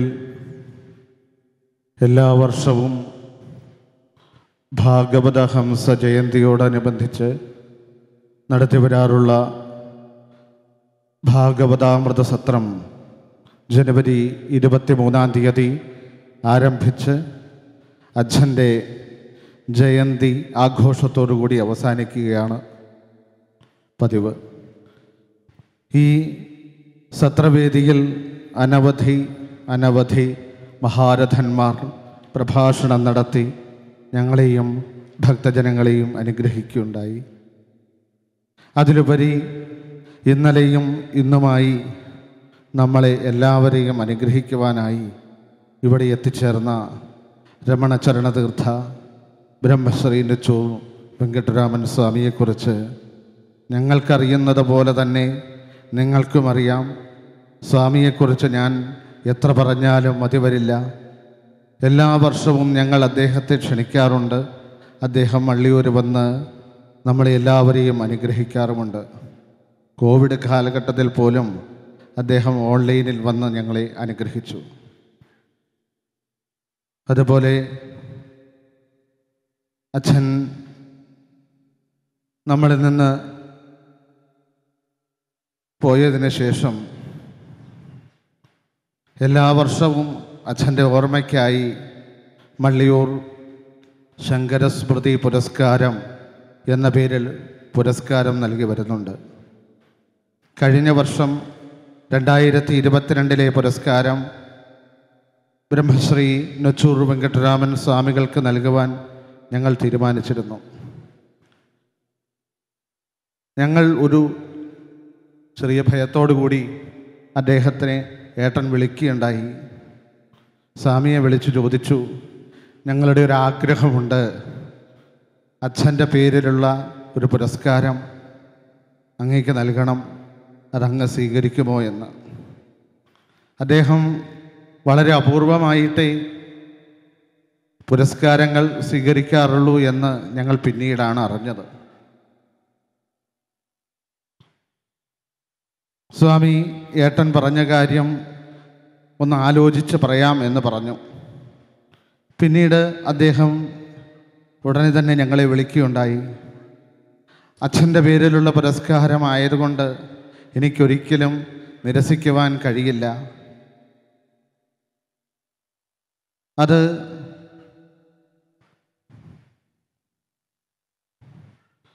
അദ്ദേഹത്തിൽ നിന്നും കേട്ടപ്പോൾ ഞങ്ങൾക്ക് വളരെയധികം ആനന്ദമാണ് ഉണ്ടായത്. എനിക്കും ഏട്ടനും ഇതിൽ പരം ഈ മള്ളിയൂർ കുടുംബത്തിനും ഇതിൽ പരം വേറെ ഒരു സന്തോഷമുണ്ടാകുവാനില്ല അതിനുള്ള കാരണം അദ്ദേഹത്തിന് അച്ഛനോടുള്ള ഭക്തിയും ബഹുമാനവും ആദരവും അത് പ്രത്യക്ഷത്തിൽ മള്ളിയൂർ കുടുംബത്തിന് ഞങ്ങൾ എല്ലാവർക്കും അറിയാം. അദ്ദേഹം എത്രയോ സമയം അച്ഛന്റെ കൂടെ ചെലവഴിക്കുന്നത് ഞങ്ങൾ കൺമുമ്പിൽ കണ്ടിട്ടുണ്ട്. രാത്രി ഇന്നലെ പറഞ്ഞതുപോലെ ഏറ്റുമാനൂരിലെ പ്രഭാഷണം കഴിഞ്ഞ് ഇവിടെ ഏകദേശം ഒരു എട്ട് ദിവസത്തോളം അദ്ദേഹം ഇവിടെ താമസിക്കുകയുണ്ടായി. പ്രഭാഷണം കഴിഞ്ഞ് വരുന്നത് നോക്കി അച്ഛനിരിക്കും അതിനുശേഷം ഇവരുടെ ഒരു സംസാരം ഞങ്ങൾ കൗതുകത്തോടു കൂടിയാണ് കാണാറുള്ളത്. അദ്ദേഹത്തിന്റെ ആ ഒരു സാമീപ്യമാണ്. അച്ഛന് എത്രയാണ് സന്തോഷം എന്നുള്ളത് അറിയില്ല. ഞങ്ങൾ അവർ സംസാരിക്കുന്ന സമയത്ത് ഞങ്ങൾ അകലേ നിൽക്കുകയുള്ളൂ. ഇവർ അച്ഛന്റെ സംസാരം അത്രയ്ക്കും ഒരു ഞങ്ങൾക്ക് ഇവർ തമ്മിലുള്ള സംസാരം ഞങ്ങൾ കണ്ടുകൊണ്ട് ആനന്ദിക്കാറുണ്ട്. കഴിഞ്ഞ വർഷം പുരസ്കാരം നൽകണമെന്നായിരുന്നു ആഗ്രഹം. ഫെബ്രുവരി രണ്ടാം തീയതി അച്ഛന്റെ ജയന്തി ദിവസം. അന്ന് കോവിഡിന്റെ ഒരു ബുദ്ധിമുട്ട് കാരണം ഈ വർഷം ഞാൻ മള്ളിയൂർ വരും. അപ്പോൾ പുരസ്കാരം സ്വീകരിച്ചു കൊള്ളാമെന്ന് അദ്ദേഹം പറഞ്ഞു. അതുപോലെ തന്നെ അദ്ദേഹം ഇന്നലെ മള്ളിയൂരിലെത്തുകയും ഈ ക്ഷേത്രവും പരിസരവും കണ്ട് ഞങ്ങളോട് പറയുകയുണ്ടായി ഇതൊരു മഹാസാമ്രാജ്യമായി വളർന്നുവെന്ന്. അതിന്നലെ ഞങ്ങളോട് മാത്രമല്ല നിങ്ങൾ ഓരോരുത്തരോടും പറയുകയുണ്ടായി.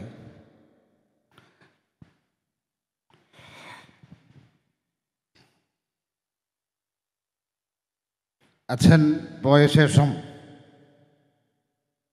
ഞാനും ഏട്ടനും ഒറ്റപ്പെട്ടു എന്നൊരു തോന്നൽ വന്നു.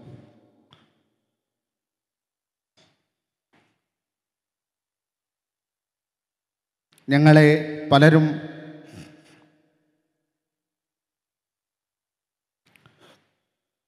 പല രീതിയിലും മാനസികമായി തളർത്തുകയുണ്ടായി. ഇങ്ങനെയുള്ള ഈ മഹത്തായ ചടങ്ങുകൾ നടത്തുന്നത് ഞങ്ങളുടെ ഒരു പേരിനോ പ്രശസ്തിക്കോ ഒന്നിനും വേണ്ടിയല്ല. വളർന്നു വരുന്ന അടുത്ത തലമുറയ്ക്ക് ആധ്യാത്മികത കൈമാറുക എന്ന ഒറ്റ ഉദ്ദേശം മാത്രമേ ഉള്ളൂ ഞങ്ങളുടെ കയ്യിൽ ഒന്നും ഉണ്ടായിട്ടല്ല ഇങ്ങനെയുള്ള ഈ ചടങ്ങുകൾ നടത്തുന്നത്. ഈ ഭക്തന്മാരുടെ അനുഗ്രഹം അല്ലാതെ വേറെ ഒന്നുമില്ല. അതുപോലെ അച്ഛന്റെ പേരിലുള്ള പുരസ്കാരം അത് മഹത്തുക്കൾക്ക് നൽകുക എന്നുള്ളത് മാത്രമേ ഞങ്ങളുടെ ഉദ്ദേശമുള്ളൂ. നെച്ചൂർ സ്വാമിയുടെ വാക്കുകളിൽ നിന്നും ഞങ്ങളുടെ മഹക്ഷേത്രം മഹാസാമ്രാജ്യമായി വളർന്നു എന്ന വാക്ക് മള്ളിയൂർ കുടുംബത്തിന് ഊർജം പകർന്ന് നൽകിയിരിക്കുകയാണ്. ഇനിയുള്ള ഞങ്ങളുടെ സംരംഭങ്ങൾക്ക് കഴിഞ്ഞ ദിവസം വരെ വളരെയധികം ബുദ്ധിമുട്ട് നേരിട്ടിരുന്നു. സ്വാമികളിലെ വാക്കുകളിലൂടെ കിട്ടിയ ഊർജം സ്നേഹം അനുഗ്രഹം ആദരവ് ഞങ്ങളെ മുന്നോട്ട് നയിക്കും. അത് ഉറപ്പാണ്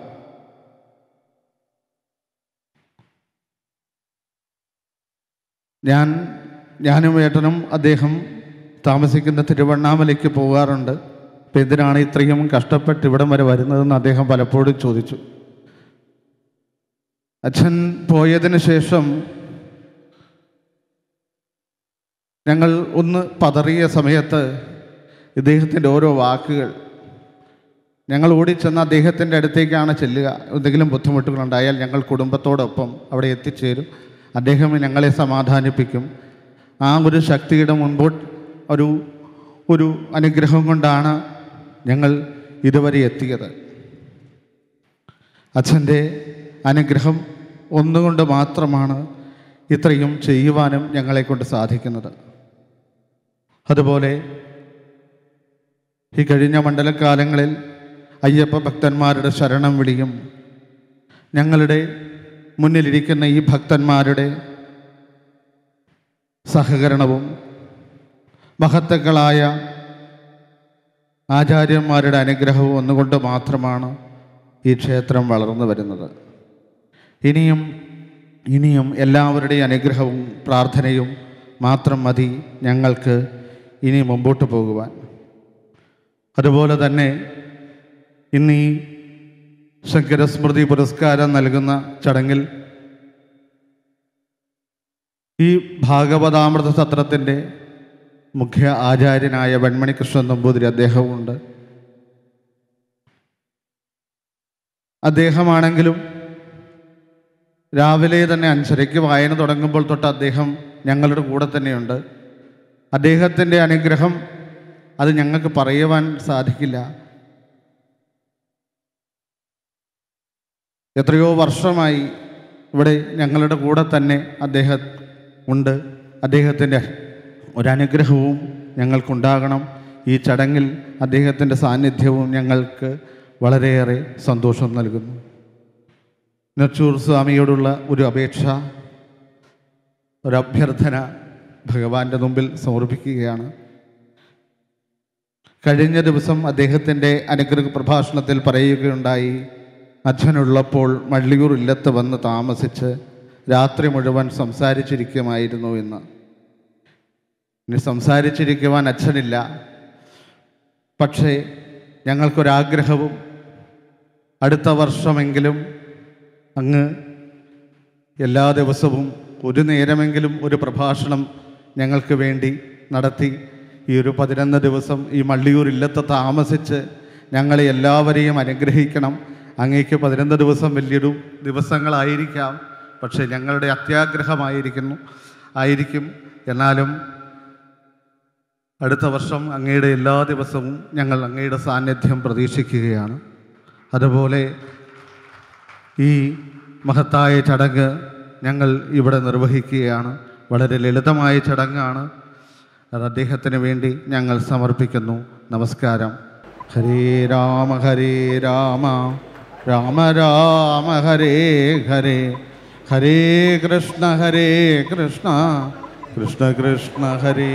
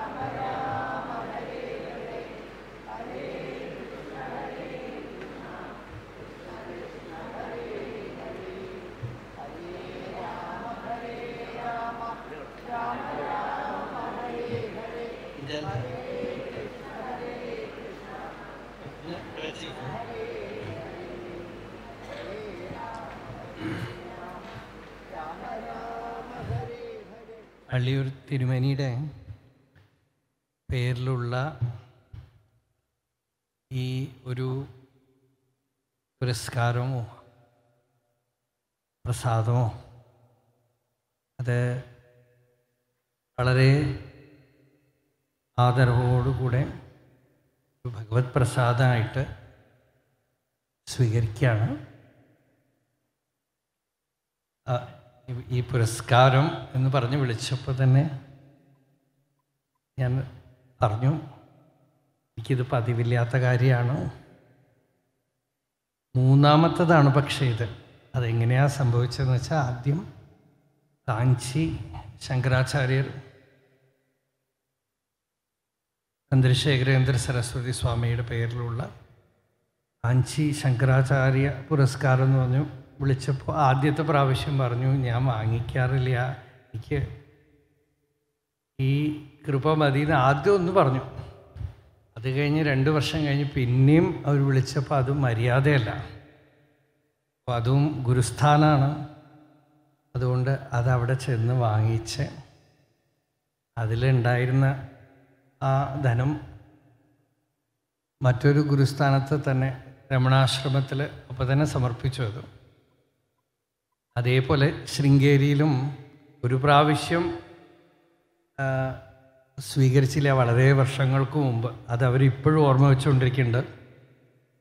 അത് കഴിഞ്ഞ് ഇപ്പോൾ ഭാരതീ തീർത്ഥ പുരസ്കാരം എന്ന് പറഞ്ഞ സപ്തതി എന്ന് പറഞ്ഞ് അപ്പോൾ അത് അതും ഗുരുസ്ഥാനം ഒന്നും പറയാൻ പറ്റില്ല. അതുകൊണ്ട് അവിടുന്ന് ആ ശൃംഗേരി മഠത്തിന്റെ ശങ്കരാചാര്യ പുരസ്കാരം അത് ഒരു നമുക്കൊന്നുമില്ലെങ്കിൽ ആചാര്യന്മാർ തരുന്ന ഒരു അനുഗ്രഹം എന്നുള്ള വിധത്തിൽ അത് സ്വീകരിച്ചു. അതേപോലെ ഇവിടെയും തിരുമേനിയുടെ പേരിൽ തന്നിരിക്കുന്നതും തിരുമേനിയോടുള്ള ഒരു സമ്പർക്കം. അത് എന്തെങ്കിലും അതിനൊരു ഉദ്ദേശം ഉണ്ടാവും എന്ന് വിചാരിച്ചു. അത് ഭഗവത്ഗീത നമ്മുടെ ഒരു വ്യാഖ്യാന പുസ്തകം മൂന്ന് വോള്യൂമായിട്ട് ഇപ്പോൾ പ്രകാശിപ്പിക്കുകയാണ്. നമ്മുടെ മഹർഷി ബ്രഹ്മവിദ്യാശ്രമം എന്ന നമ്മുടെ ഒരു പാഠശാല ആശ്രമമായിട്ട് അവിടെ നിന്ന് പബ്ലിഷ് ചെയ്യുകയാണ് അപ്പോൾ തന്നെ ഞാൻ ഉള്ളുകൊണ്ട് അത് സങ്കല്പിച്ചു ഇത് അതിലേക്ക് അങ്ങോട്ട് സമർപ്പിക്കുക. ആ പുസ്തകം ആ തിരുമേനിയുടെ പേരിലുള്ളത് ആ ഗീതാ പ്രകാശനത്തിനായിട്ട് ഇപ്പം തന്നെ ഞാനതങ്ങോട്ട് ആ ആശ്രമത്തിന്റെ പ്രതിനിധിയായിട്ട് സ്മരന്റെ കയ്യിൽ ഞാൻ കൊടുക്കുകയാണ്. ആ പുസ്തക പ്രകാശനത്തിന് ഒരു വലിയ കാര്യത്തിനായിട്ട് അത് പ്രയോജനപ്പെടും.